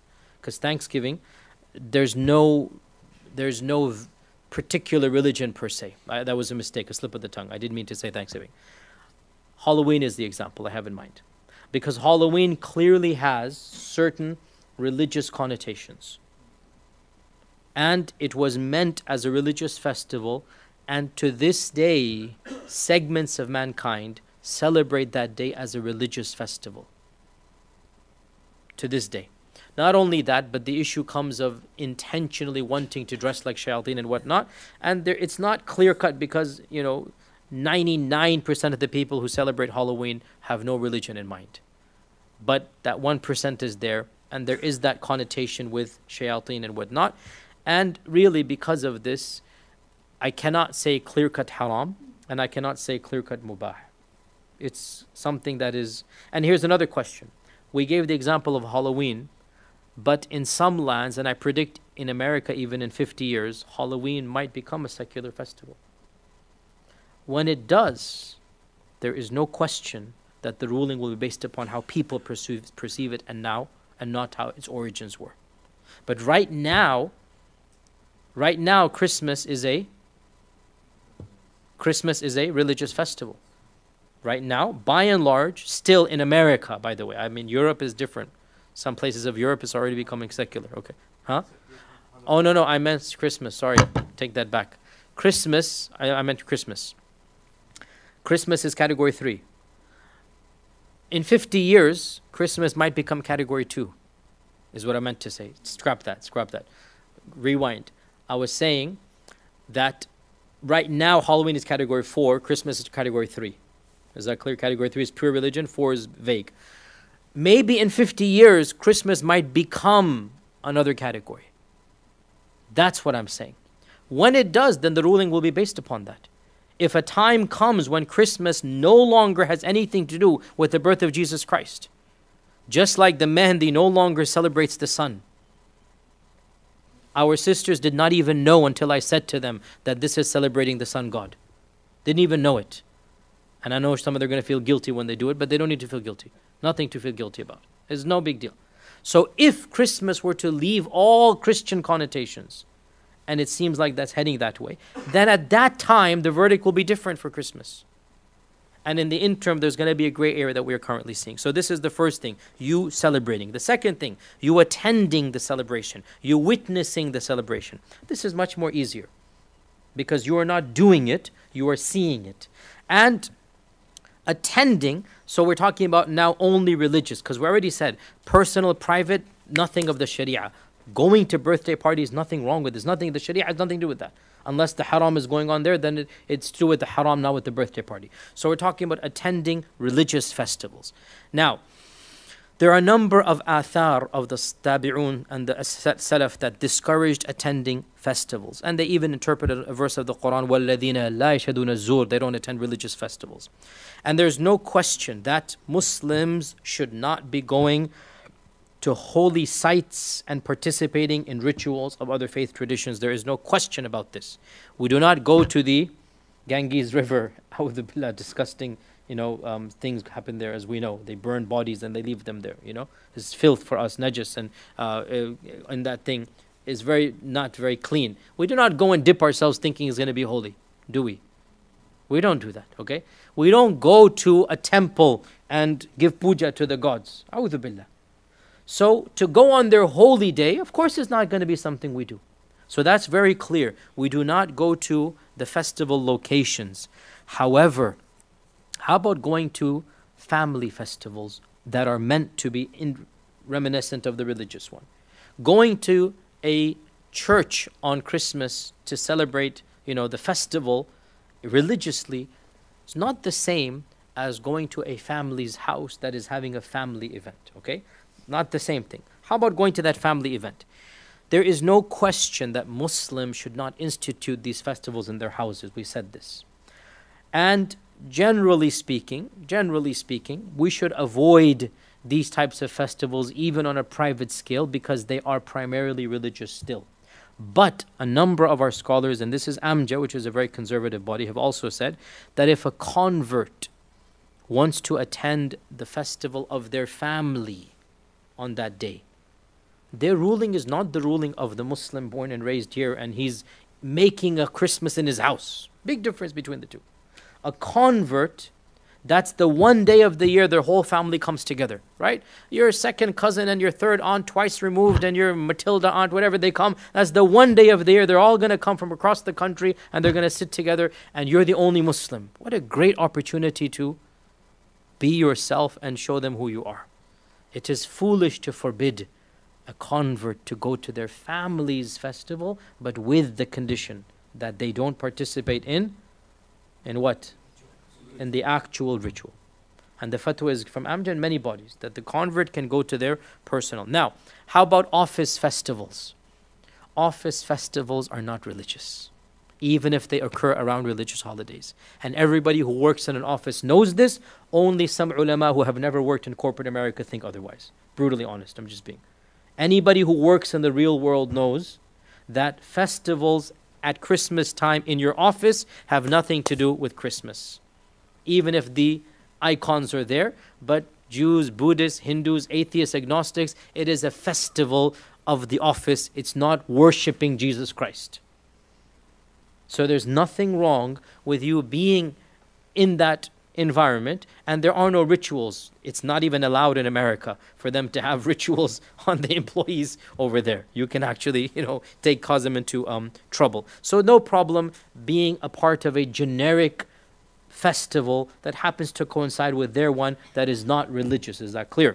And Imam Ahmad, very strict alim generally speaking, great scholar, said, and this is in the book of Khallal via the Muhanna, about witnessing Christian celebrations by going to the bazaar. There's a Christian celebration going on. The bazaar is a festive place. There's going to be, you know, things going on, whatever you can imagine, jugglers, whatever, going and witnessing. Imam Ahmed said, if they're in the bazaar and they don't go to the church, I don't see a problem with that. This is Imam Ahmed. Fireworks on the 4th of July, not even religion. Nothing wrong with that, okay? We are walking in the bazaar and the Macy's parade is going on on the 25th, or they have the tree, and you say, oh, just the tree and the light. You're just looking at it. Nothing wrong with that per se. You're just seeing it. You're not being a part of the of the ritual. And in fact, we can even say, therefore, there's nothing wrong with taking advantage of Christmas sales. No problem. Lit- Islamically, there's no problem. And Imam Ahmad was asked about this. You can buy. Ibn Taymiyyah was said you can buy on their holy days. Ibn Taymiyyah was a big strict, strict. He said don't sell to them on their holy days because he was in his mind he was saying if you sell they're going to use it in their shirk. But in these days who does that anymore? So anyway, that was his fatwa in this regard. Tayyib. So that's attending a festival. Number three, congratulating them on their festival. I know we're late. Inshallah, we'll be done in ten minutes. But this is, as you know, a very important lecture and it needs to be given. Number three, congratulating them on their celebrations. There's nothing explicit from the Quran and Sunnah or any of the four Imams that allows or forbids congratulating them on their um, celebrations. Um, Ibn al Qayyim, in his famous uh, book Ahkam Ahl Dhimma, he has a very harsh comment in which he says that, and he's against this, he says that to congratulate them for their celebrations is worse than congratulating them for drinking or congratulating them for committing murder because he views it as shirk, the celebration. So if you're congratulating them for their shirk, then you are congratulating them for a sin that is worse than drinking and murder. Okay. Now this is what Ibn al-Qayyim wrote. Um, a few years ago, some adolescent simpleton neophyte on YouTube, these these overzealous youngsters, he's in his fiery voice. He said, "Ibn al-Qayyim says." That celebrating, no, what did he say? Saying Merry Christmas is worse than murder. And that YouTube clip went viral across the internet. And like it's this, you know, Ibn, Ibn Qayyim and Taymiyyah, their own followers have done more damage to them than anything they themselves have ever done their own followers are just so in their own bubble and whatnot. Ibn al-Qayyim did not say that. Ibn al-Qayyim wrote a very precise, and I actually had to clarify and, and, and you know, um, explain that to defend Ibn al-Qayyim, even if I politely disagree with Ibn al-Qayyim, but Ibn al-Qayyim is very academic. He did not say saying Merry Christmas is worse than murder. He said congratulating them for their holy days is worse than congratulating them for khamr and murder. There's a big difference between the two right? And this neophyte just literally, anyway, so you you know my anyway. So where was I? Um, so yes, so Ibn Qayyim definitely says you should not congratulate them for their and, and, and you know I understand it makes sense. Listen to the logic; it's very straightforward. They say that believing in another god is shirk, is paganism. It's the worst of all sins. And what is a holy day other than venerating that other god, whatever that god might be? Hence, they say to congratulate them on their festival is essentially congratulating them on their belief in another God and worshiping another God. So it is a logically constructed argument. It's not far left field. And we respect that argument. We say, okay, you have made a valid point. Do realize that it is one opinion. And there are many scholars who basically agree with the first bit, which is to celebrate, to worship another God is shirk and they agree with the second bit to celebrate that God is also wrong, but they disagree with the third bit, which is to wish somebody a good celebration does not mean that you are endorsing the first two. You see, this is where the disconnect comes, right? And this is the standard fatwa from most of our scholars outside of that one school of thought. You know, scholars from Azhar, from Jordan, from many of the other, uh, and even I know, I know for a fact within the Deobandi tradition as well, there are two schools within this, and some of the Deobandis allow it, and some of them uh, don't allow it as well. And one of the things that they mention is that it is well known in multicultural settings that non-Muslims wish us happy Eids as well. And they don't think that their Christianity is compromised when they say happy Eid to us. They understand that wishing somebody happy Eid doesn't mean that they're now all of a sudden Muslim. It's just a generic statement that they say. And they also quote the scholars that allow this, they quote from the Salaf and from Imam Ahmad and others who basically said that it is allowed to wish for something good for the kafir in this world. May you have good life, may you have good children. They make a generic dua, it's halal. So they say if it's allowed to make a generic dua any day, why can't you say it on the day that they're extra happy. You see, they just make an argument like this. And they also say, Allah says in the Quran, when somebody greets you, then you should greet back the same or better. So if somebody says happy Eid to you on your Eid day, why shouldn't you also wish them, you know, a happy, holy, whatever day that they have? Now, and that's a good argument to make. I will say, without deciding which one is right and wrong, let's get out of the khilaf and instead of saying Merry Christmas, even though I'm not saying it is haram and I'm not saying it is halal, I am just silent about that right now. But uh, instead of saying Merry Christmas, why don't we get out of the khilaf and use a generic greeting? Use a generic greeting. May God bless you. Okay? Happy holiday, good day to you, whatever, it's your generic greeting. Just use your generic greeting so that you get out of the khilaf of group one. Okay? Because look, I'm going to be on it's a, it is a logical argument. It's not coming out of again nowhere. It's a logical argument. Why would you wish a particular holy day? Just be generic. Happy season or whatever. You know, you get my point. You're just like a generic greeting. And you get out of the khilaf.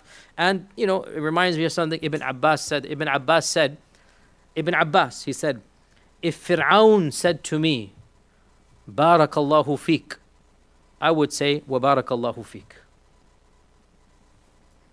If Fir'aun said to me, May Allah bless you, I would make dua, may Allah bless why why shouldn't I make dua for somebody?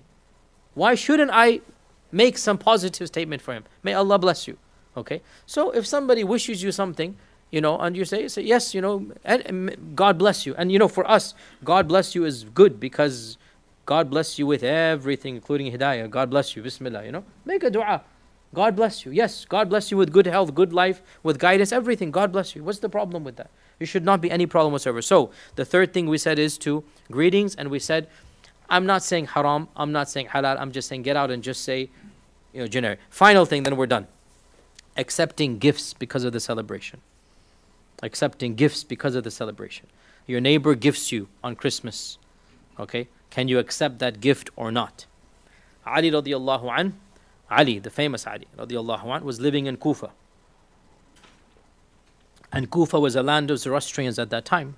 Muslims have come. And one day he was gifted something in the Arabic book it is called faludaj. All the Desis know what faludaj is. But your faludaj is not their faludaj. They didn't have vanilla ice cream in their faludaj. Okay? Tutti frutti, okay? So uh, he was gifted something called faludaj, and he had never gotten it before. It was a mixture of conco- It was a, a faludaj 1,400 years old. So go back. Our modern faludaj is generated from that. Okay. Uh, the Arabs have no idea faludaj, right? You guys don't know where the Arabs. You have no idea, right? Okay. This is in the books of Arabic uh, hadith. He was gifted faludaj. Faludaj is still in our cultures. Okay, it's a very nice sweet, but in our time, it is ice cream and other things mixed up. But of course, back then it was different. He loved it, mashallah, tabarakallah. So he said, What is the occasion? Why am I gifted this faludaj? They said, It is Nowruz for us. Ali radiallahu anh, man of my heart, he said, May every day be your Nowruz. what does this show?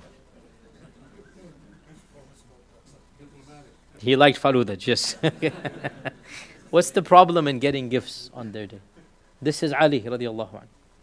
May every day be faludaj. Let me get some more, okay? Someone came to Aish radiallahu anh, our mother, and she said, We have some Zoroastrian neighbors, and they gift us on their Eid. Can we accept their gifts? Aisha said, Anything they sacrificed on that day, do not eat but you may eat of their fruits and their plants. Now, why can you not eat the sacrifice of Zoroastrians? Because they're not Ahl Kitab. Not because it is holiday. Because she said, eat of the others, right? Laddu bhejen khalo, koi baat nahi. Bismillah. Okay? The Hindu sends the laddu, eat the laddu. Eat the laddu. That's exactly what the athar is. Exactly what the athar is. Right? The Zoroastrian is sending on his holy day food. Aisha said, if there's meat, this is Zoroastrian. But anything else on the plate, go ahead and eat it. Right? And of course, the point is that, that, that meat is not halal for us to eat. And so that's like that. Uh, Abu Burza as well, he would say the same thing. He was living among the Sahabi Abu Burza al Aslami. He was living amongst the Zoroastrians. I mean, like when Islam was conquering Persia. And he told his family as well on the day of Nowruz that anything that comes of meat, do not eat, but anything else you may eat of it. So the same ruling. Coming on Nowruz, but you may eat of it. Therefore, anything that they gift us on that day that's generically halal, we may take it. And the generic rule, when we are gifted, we gift back. So if we give back on our Eid, or even if it's the same day, in, in and of itself, there should be no problem. And especially if it's in an office environment, which isn't even a ritual. A lot of you asked me about the office gift. It's not even a ritual, aslan. No big deal. So with this, inshallah ta'ala, we summarize by stating that Unfortunately, it appears that some ulama, may Allah Azza wa reward them for their ikhlas and their sincerity and their desire to protect Islam. In their desire to protect Islam, they wanted to make certain things haram, and also because these things might have been haram at certain times and places. However, there is no strong basis to consider these things haram, in particular festivals and celebrations of a generic nature. What is haram are uniquely religious festivals and celebrations that are meant to venerate other gods, and these are things we do not do as Muslims. But if we happen to witness them third hand, we see the fireworks, we do in of themselves this is halal. And if people gift us things on that day as well, it is halal as long as the object itself is halal. And we may give generic greetings to our friends and neighbors on that day, and it's probably safe to avoid specific greetings when it comes to the actual day of the the name of the festival. It's probably best to do that. Uh, and there's nothing in the Sharia that encourages or discourages personal celebrations. It's between you and Allah. Allah did not dictate it's not something the Sharia came with to dictate your personal, private celebrations. There is no Quran and Sunnah to allow or deny. Therefore, the default is that it is halal. Things are halal unless the proof comes otherwise. And with that, inshallah ta'ala, time is way too late.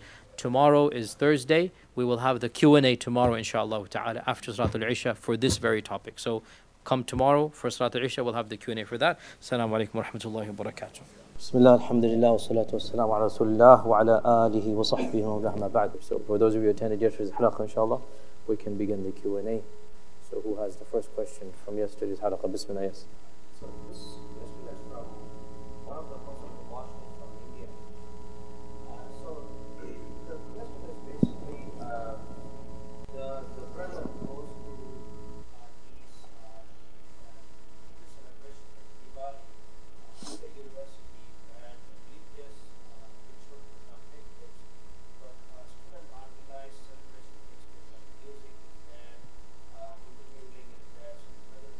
The problem comes with these other haram items.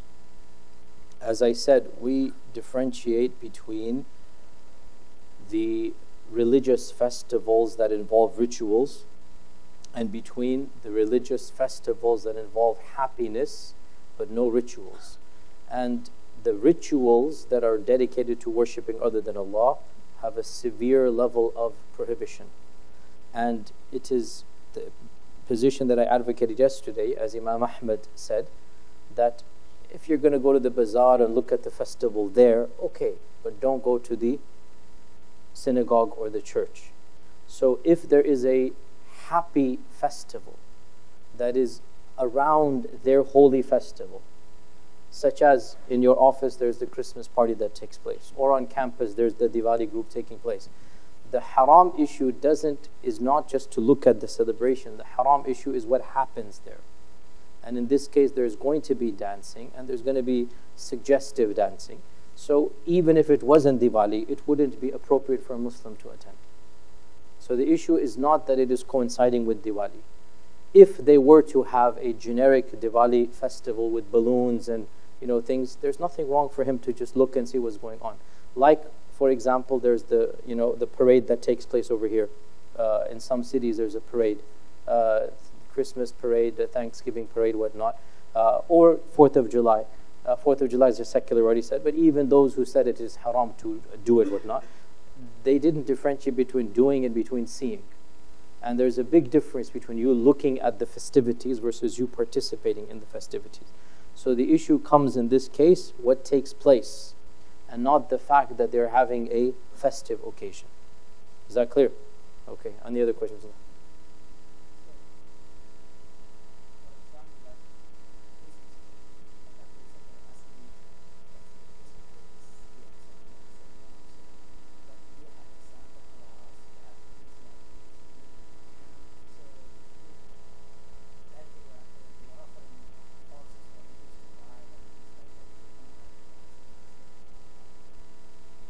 No, again, this is this is this is a complex thing. So they have brought horses to your you know workplace or whatnot, and they're saying, "Come on, everybody, go ride the horses." You know, that's what they.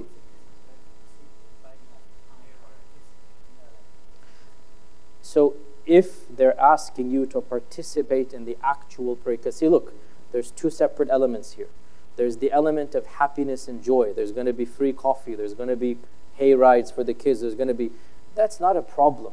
But if you are a part of the, uh, the, the actual, I mean, here we get to this gray area. So this is a gray area. This isn't a ritual per se. It's not a ritual. What is clearly haram is the ritual. That is no question about that. This parade, as I said, Imam Ahmad's statement is very clear. The, the, the, the person is asking, Can I go to the bazaar and see? And the point was, there is festivities in the bazaar, right? And there's nothing wrong, therefore, it's your community, and the kids like to see, you like to see. Seeing is not endorsing, and, and, and generally, almost everything that happens there is not related to rituals. They don't do rituals in the bazaar. But there's going to be whiffs of the ritual. Like you said, Santa Claus is there and this is there. So, my advice to you is to not dive in the deep end. But if you see the ambience and whatnot, we shouldn't be that strict. You know, uh, Umm Salama, for example, it's not directly related, but still it is related. That Umm Salama, and of course she was in Abyssinia for many years, as you know, married to Abu Salama, remember? And when she came to Medina, she was in awe at the churches she had seen. They had never seen stained glass, they had never seen magnificent monuments, right? And so she was describing in wonder and amazement, which means she went inside the church and she's seeing everything there, right? And she's telling the Prophet and it's human nature. We want to see these magnificent buildings and we're struck in awe. And the Prophet ﷺ didn't tell her, A'udhu Billah, how could you have walked into the church? Billah, didn't you fear? He didn't tell her this. So, unfortunately, sometimes we make Islam more difficult. You know my position in this regard. There's nothing wrong with just looking at what's going on.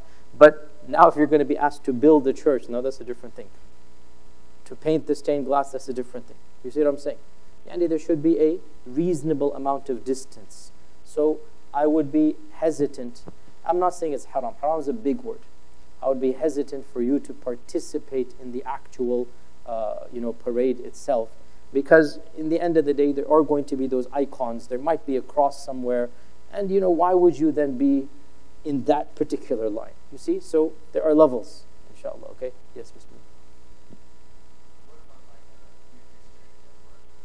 We already said this. is okay. You were here yesterday. We didn't over this. Yeah.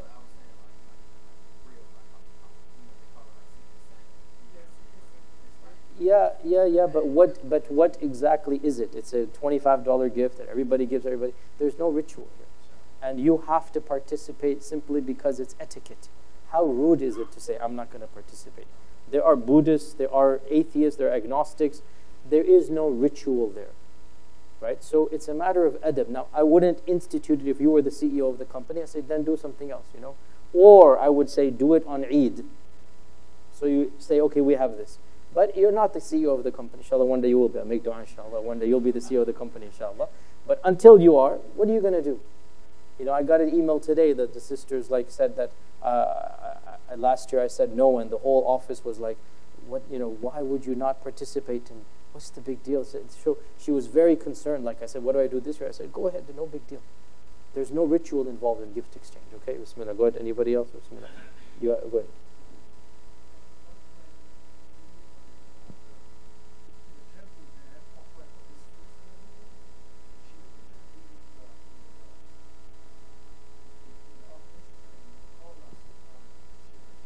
wait, wait, wait, wait. I don't think, I don't, not sure, I don't think the actual fruits that are offered to the god are taken out of the temple and given to strangers outside. From what I know, from what I know, they give it, they give it to the priests and the visitors of the temple.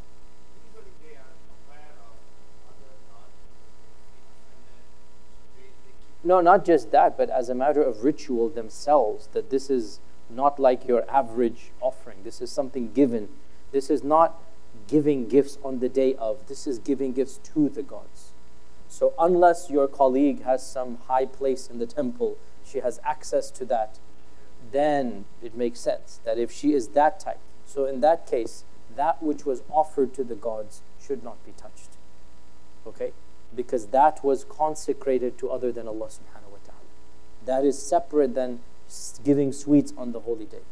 You see? So if you know, and, and by the way, that's rare. Agree, but that's rare. It's very rare.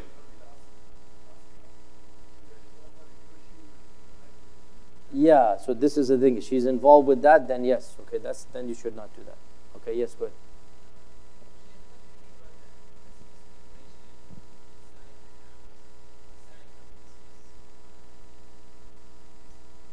Outside of Christmas time.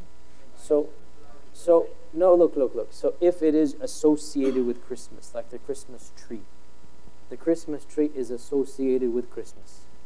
It is the icon of Christmas. Here we do get the issue of tashabbuh. Because we said yesterday, what the, when does tashabbuh occur? When it is unique to the religion or even a civilization not your own. And you go out of here like, why would a Muslim want to have a Christmas tree? There's an element of wanting to be like the, the other group. The least that can be said if it's not shirk is haram, clearly, right? Hmm. But generic lights, I don't think if I see a light that's green and blue, I don't automatically think of Christmas if I see it outside of Christmas.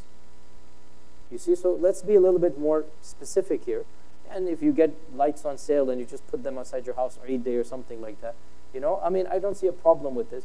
But to, I mean, to somebody asked me yesterday about decorating around Christmas? I said, no, it should not be done. Because you may decorate your house at any time, but for a Muslim to do it around Christmas, it is an indication that, you know, it's not our festival. As we said, we don't celebrate this festival, but we may observe. So if we pass by somebody's house, let's say, and they have beautiful ornament, ornaments right now, okay? So you have some strict parents, they speed up the car. Children, lower that, lower the gaze. Huh? Don't look at the lights. Okay, Umm Salama said, I saw that beautiful stained glass. Did the Prophet say, don't look at it? I mean, again, sometimes you get these ultra strict ulama. As I said, I'm very, very critical of them just like I'm critical of progressive, because I think both of them are harming the religion in their own way. The religion is livable, it is an easy religion. I mean, you teach your children. I teach my children this. Like, look, this is Christmas, you know, um, we don't celebrate it, and they believe this and that, and that's their festival. We'll celebrate on Eid, we'll do something. End of story. That's it. I mean, what more difficult is that? Even the four year old understands that, okay, that's their, we have our Eid, they have their, so, so they can admire that light. But now, should you put lights on your house? No. Why should you? Should you put that tree in your house? Of course not. Because then you are tacitly getting involved, and that's not our celebration. Okay? Other questions?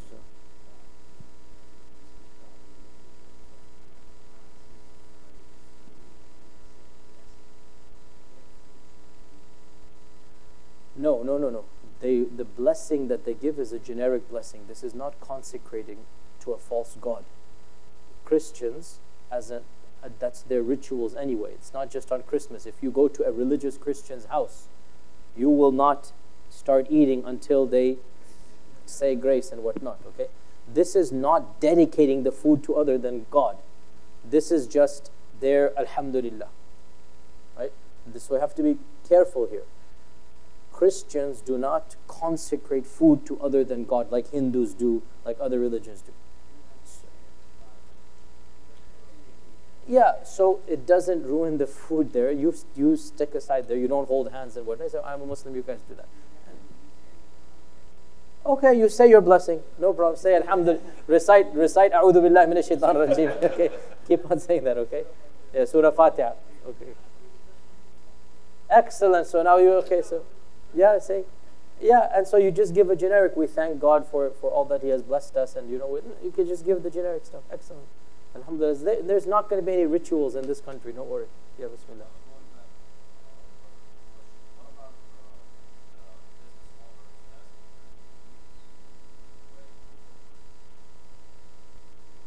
Yeah, that is an issue now. So you are an employee, and as a part of your job, you're going to be asked to put up these decorations, right? Um, I see that. That's a that is uh, obviously a more problematic area. Well, no, in a Muslim business, no, no, in a Muslim business, in a Muslim business, it does make it easier because even if he wants to do that, you know, you give him your nasiha, you say, look, get the other employee to do that. It's like, huh? Yeah, exactly. exactly. Yeah, tell him to come speak with me, then I'll, I'll get you off. But in a serious note, if it's a non Muslim and he's asking you to do this, if you are able to get another employee and you basically do favors for that, like, look, I'll do a shift of yours if you do this or whatnot. I mean, there are ways, you know this, we all know this, you know what I'm saying? If you're able to, alhamdulillah. If not, then I honestly say, I don't see this as being haram or shirk in and of itself because, again, this is not rituals. Again, my point is, most of the fatwas you read are a little bit superficial. They just lump everything together. But it is not the case if you were asked to build a church, it's not the same as your generic warehouse employee saying, hang the lights here. You see? If you're asked to hammer a cross inside the church, that's a big difference. And I say, no, it is not allowed for a Muslim to be employed to build a temple, you know, for other than Allah. Okay, that's not our job to, to, to, to do that. But in this case, your employer has a generic place, a house, I mean a, a warehouse or whatever, and you're just being asked to put up these various decorations. It is not a ritual, it is the festivity spirit of the season, and it should be avoided. But if you are indeed forced to do so, in that you might be the only employee, right? And it's very, I mean, in this country, these types of you know, minimum wages, you're going to get fired. You know this. You know this. I don't think this is a fight that needs to be done for the sake of Allah. He's not asking you to drink wine. He's not asking you to commit shirk. If those were the case, then yes, you get fired rather than. But this is not one of those things that you really need to stand your ground for. For what? I mean, I don't see this as being to that level. Is that clear? Right. So if you're asked to do it and you have no alternative, then Bismillah. Let's go back all the way. Anybody from this side? Sisters, nobody. I, see. Don't worry. I know. So go ahead. Yeah. No prohibition. There's no prohibition. But the question arises: Should you do this for no reason? Let's flip it around, right?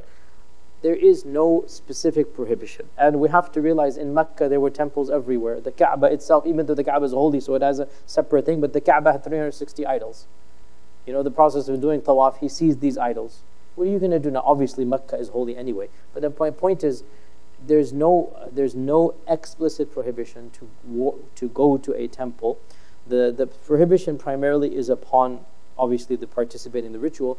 But I will push back a little bit and say, even if there isn't an explicit prohibition, why should a Muslim want to go there for no reason? If there is a reason, and reasons can be trivial. Umm Salama wants to see the beautiful thing, right? And maybe most likely she must be going off ritual time. Just like when we visit churches, typically we will not be going during ritual time. We're going during off time. Number one. Number two, the other reason is that you know your, your, your colleague has passed away or his mother or whatever, and you go as your token of condolence, right? So you show your face, you show your colleagues I came, and you give your condolences and you leave. There's no prohibition to walk into another temple. Nothing in the Quran Sunnah. Yeah, I mean, I've walked in as well. I mean, I walk into old, uh, old, old, you know, churches. I mean, again, it is you are not participating, you're not validating their system. You're simply looking at the architecture. And yeah, uh, I don't see this as a haraj. Now, some scholars do find this problematic. And again, I see where they're coming from. But I'll be honest, I've done it and I will do it again if, I, if there's a need to do so. I mean, especially the old churches of Europe, whatever. I've been to so many. I've been to, and I'm going to Bethlehem. Most likely, if there's time, I'm going to go to the, you know, Church of Nativity again. I've been there, you know, two times. I'll go again. It's an interesting church to see. And to me, I like to see the Christian people more than the architecture. I personally benefit just to see it, whatnot. It's a sign for me, you know. So I go to the Church of Nativity itself, which is the holiest of holy churches. You know, I haven't actually been in the line to go see where they say Jesus was crucified or whatnot. Um, there's a line that's like two hours or an hour and a half long, especially in this season. Um, the in this season of the Christmas season, literally the line is like yani, outside the church. But you can just walk in and see the church and walk out. There's no line for that. But if you want to go into the chamber, uh, I haven't been there. But I'll be honest with you, if I got the opportunity, I would walk in and see. I don't see any problem. I mean, just seeing. I want to see what's going on. Maybe that's where the Garden of Gethsemane was. I don't know. Maybe it was. Maybe it wasn't. For me, it's just a historical relic. I, it doesn't affect my iman. I don't approve of what they might be doing or not. But it's a curiosity for me. I don't see a problem with that. Okay. Yeah. Go ahead.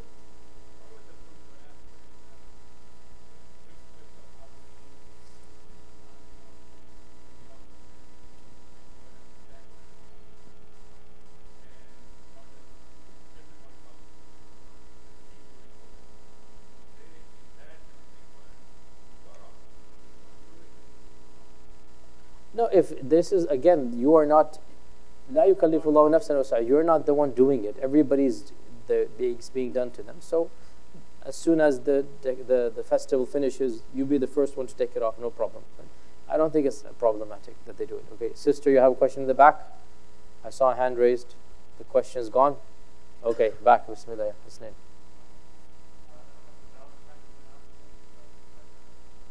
So uh, Valentine's is clearly not a religious one. We, talk, we went over the issue, even if it's pagan in origin, if it's gone, it's gone. So Valentine's is neither, there's no religious element involved. The problem, of course, comes, which is obvious here, that if uh, this is happening between a couple before marriage, then that is the problem. That obviously we do not, we do not incite passions and flirtations before marriage. Okay, this is not something that is done. Uh, and obviously, Valentine's has that token. But if a couple, married couple, um, and, and, and you know, maybe you and I don't understand this because we grew up in a different culture, but maybe converts, for example, who every year chose Valentine's before they became Muslim, okay? Then they converted to Islam and they kept on doing something special on Valentine's. Very realistic example, okay? For them, for example, should we tell them it is haram for you to do something on Valentine's? See, me and you, most of us here, for you know, 14th February is like doesn't nothing happens. We didn't grow up like that. Okay? But do realize we have to look at hukum shar'i beyond me and you. The hukum shari, the Islamic ruling, is beyond my culture and your culture. If there are people for whom this was a day of expressing love, there's no religion, there's no ritual, right? It is a purely a religious holiday. And we mentioned yesterday, personal, private, a religious holidays, the Sharia has not come to prohibit it. You may do whatever you want as long as it is within the confines of the Sharia. So if a couple wishes to do something special, go out, you know, this and that, there's no problem. If they want to decorate or throw cards or whatever, all of this, the, the Sharia would not prohibit it. Okay?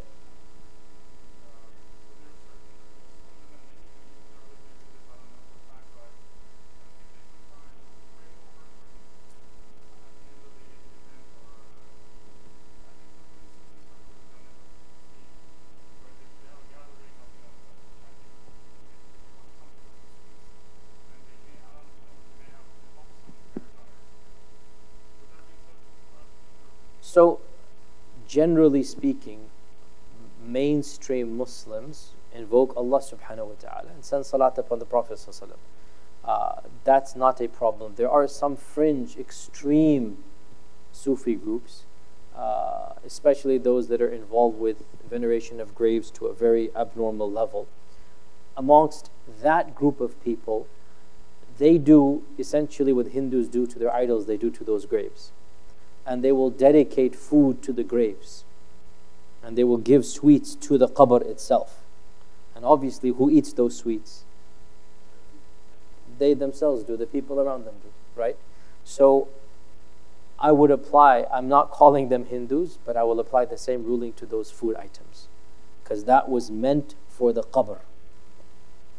Which is different than what you were saying that there's a gathering of dhikr and there's food going to be eaten by the people, and they just do a group dhikr to bless the food. So tasawwuf is of levels, and the more extreme mutasawwif, I mean, to be brutal honest, the extreme Barelvis I'm talking about, their version of you know venerating the graves is a little bit beyond what I would consider within acceptability. And they have the urs and they have the 40 days and they have this and that, you know, and they do rituals that are very similar to Hinduism around the grave. And we should definitely not be supporting something that is that extreme. And I would not participate, and I would, and here we also have an element of da'wah as well. Like if your cousin or somebody's doing this, then you can say, look, I just don't agree with this stuff. So there's an element of da'wah, so, okay? Bismillah. Final question, I have to go and get ready for tomorrow. Go ahead,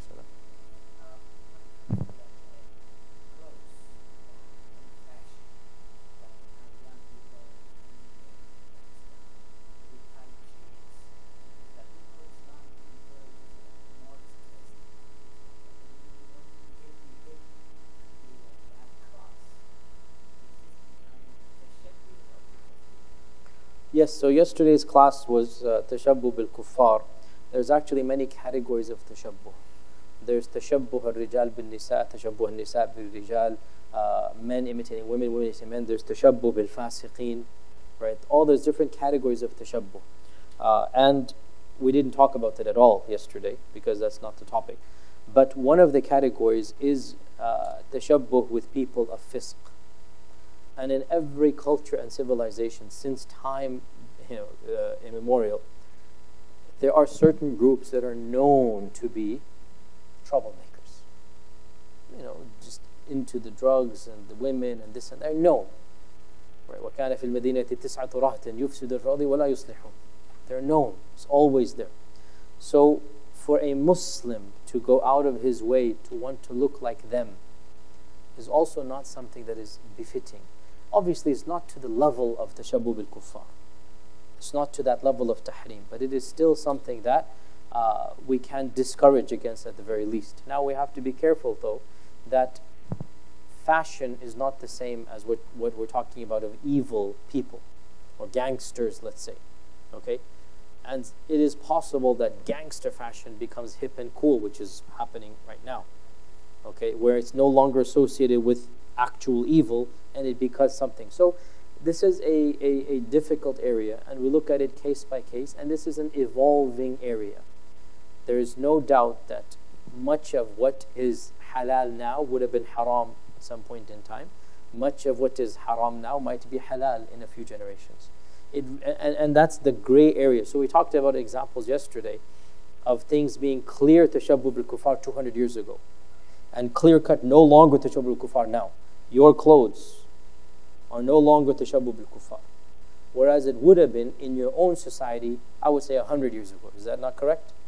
Your great grandfather would never have seen another person of his tribe wear what you're wearing. Is that not correct? Yeah. And if somebody at that time and place wore this, the verdict would be tashabbuh. 100%, right? But in now, your time, it's not. Now, what happened in the interim? Did it just overnight become haram to halal? Wasn't there a period of struggle? There would have been a generation, maybe your grandfather with you, or your you or your father, I don't know, you with your son. There's going to be a struggle generation. What are you doing? How you do that, right? And the haram is going to be slowly, slowly, slowly changed until it becomes halal. And by the way, this isn't just now. I mean, I didn't talk about, again, so much to say, time is limited. Wherever Islam went, the people kept their clothes. Think about it. Yes, the thobe did spread, but even the thobe was modified culturally. But generally speaking, wherever Islam went, so when Islam was introduced to any civilization, at that point in time, there would have been this strangeness of clothes, right? But what happened? The Indonesians have their garb, the Malay have their garb, the, the, the Nigerians have their, mashallah, very, you know, the Pakistanis have their, every civilization, the men, not the women have their own hijabs, I'm talking about the men. They have their own clothing system. Clearly, then, there must have been a time where the Muslims said, oh, we can't dress like that. that. But what happened? Slowly but surely, we have authentic narrations of the first generation that they discouraged dressing like the Persians. And within a few generations, the Muslims dressing like the Persians. Okay? We have authentic generation, uh, narrations. I told you yesterday, Imam Ahmad and others, Imam um, um, uh, Malik ibn Anas said that I didn't give fatwa in this masjid until 70 or 80 muhannakin gave me the right to give fatwa, gave me ijazah muhannakin. The muhannak, we talked about it, right? It was the norm. Everybody made tahnik. And that's why they said to not make tahnik is tashabbuh al kuffar. Because there were civilizations that only did the turban and tucked it in. The Sudanese turban, how is it? Tahnik or dun tahnik? With, you don't know, you don't know the Sudanese turban, huh? Is there tahnik or no tahnik? No tahnik. Hmm? They go around and they tuck it in the back. They tuck it in the middle. Yeah, they don't go down. They don't go down. You're talking about the Mauritanian one. The, Tuareg. The Sudanese one has no tahnik. Okay? So my point is that, and, and even by the th- three, four hundred years of the Hijrah, we have athar from the scholars that say, well, the tahnik is no big deal now. So what happened from 100 hijrah to 300 hijrah. The same thing that's happening now with your pants and your whatnot. The same thing. This is a problem for us to think that it's only pants and shirts that are changing. No. It happened and it's going to happen. This is sunnatullah fi khalqi. It's the way things are. Okay? Inshallah, with that, uh, the skinny one is an issue because of awra. Okay? Last question because I have to go then, yeah.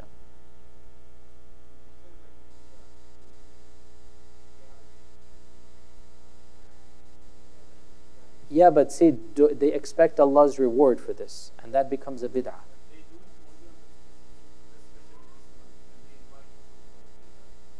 No, I mean the, the issue comes: Do you want to support them in this in this thing that they're doing? And it's a case by case basis. If you feel that, and you know, I mean, in our lands, in India, Pakistan, everybody knows that some groups don't do the garmi and some groups do it. You can even more reason for you to give him da'wah, to be polite and say, you know, I don't do these types of things, you know. Invite me another day, or I'll invite you another day. But listen, I mean, in the end of the day, it's a case by case basis. I'm not saying it's haram to go. I'm not saying it's haram. It really depends on what his niyyah is, what he's doing. You know, there are levels of garmi. Not every garmi is exactly the same. There are levels. So you use your judgment call.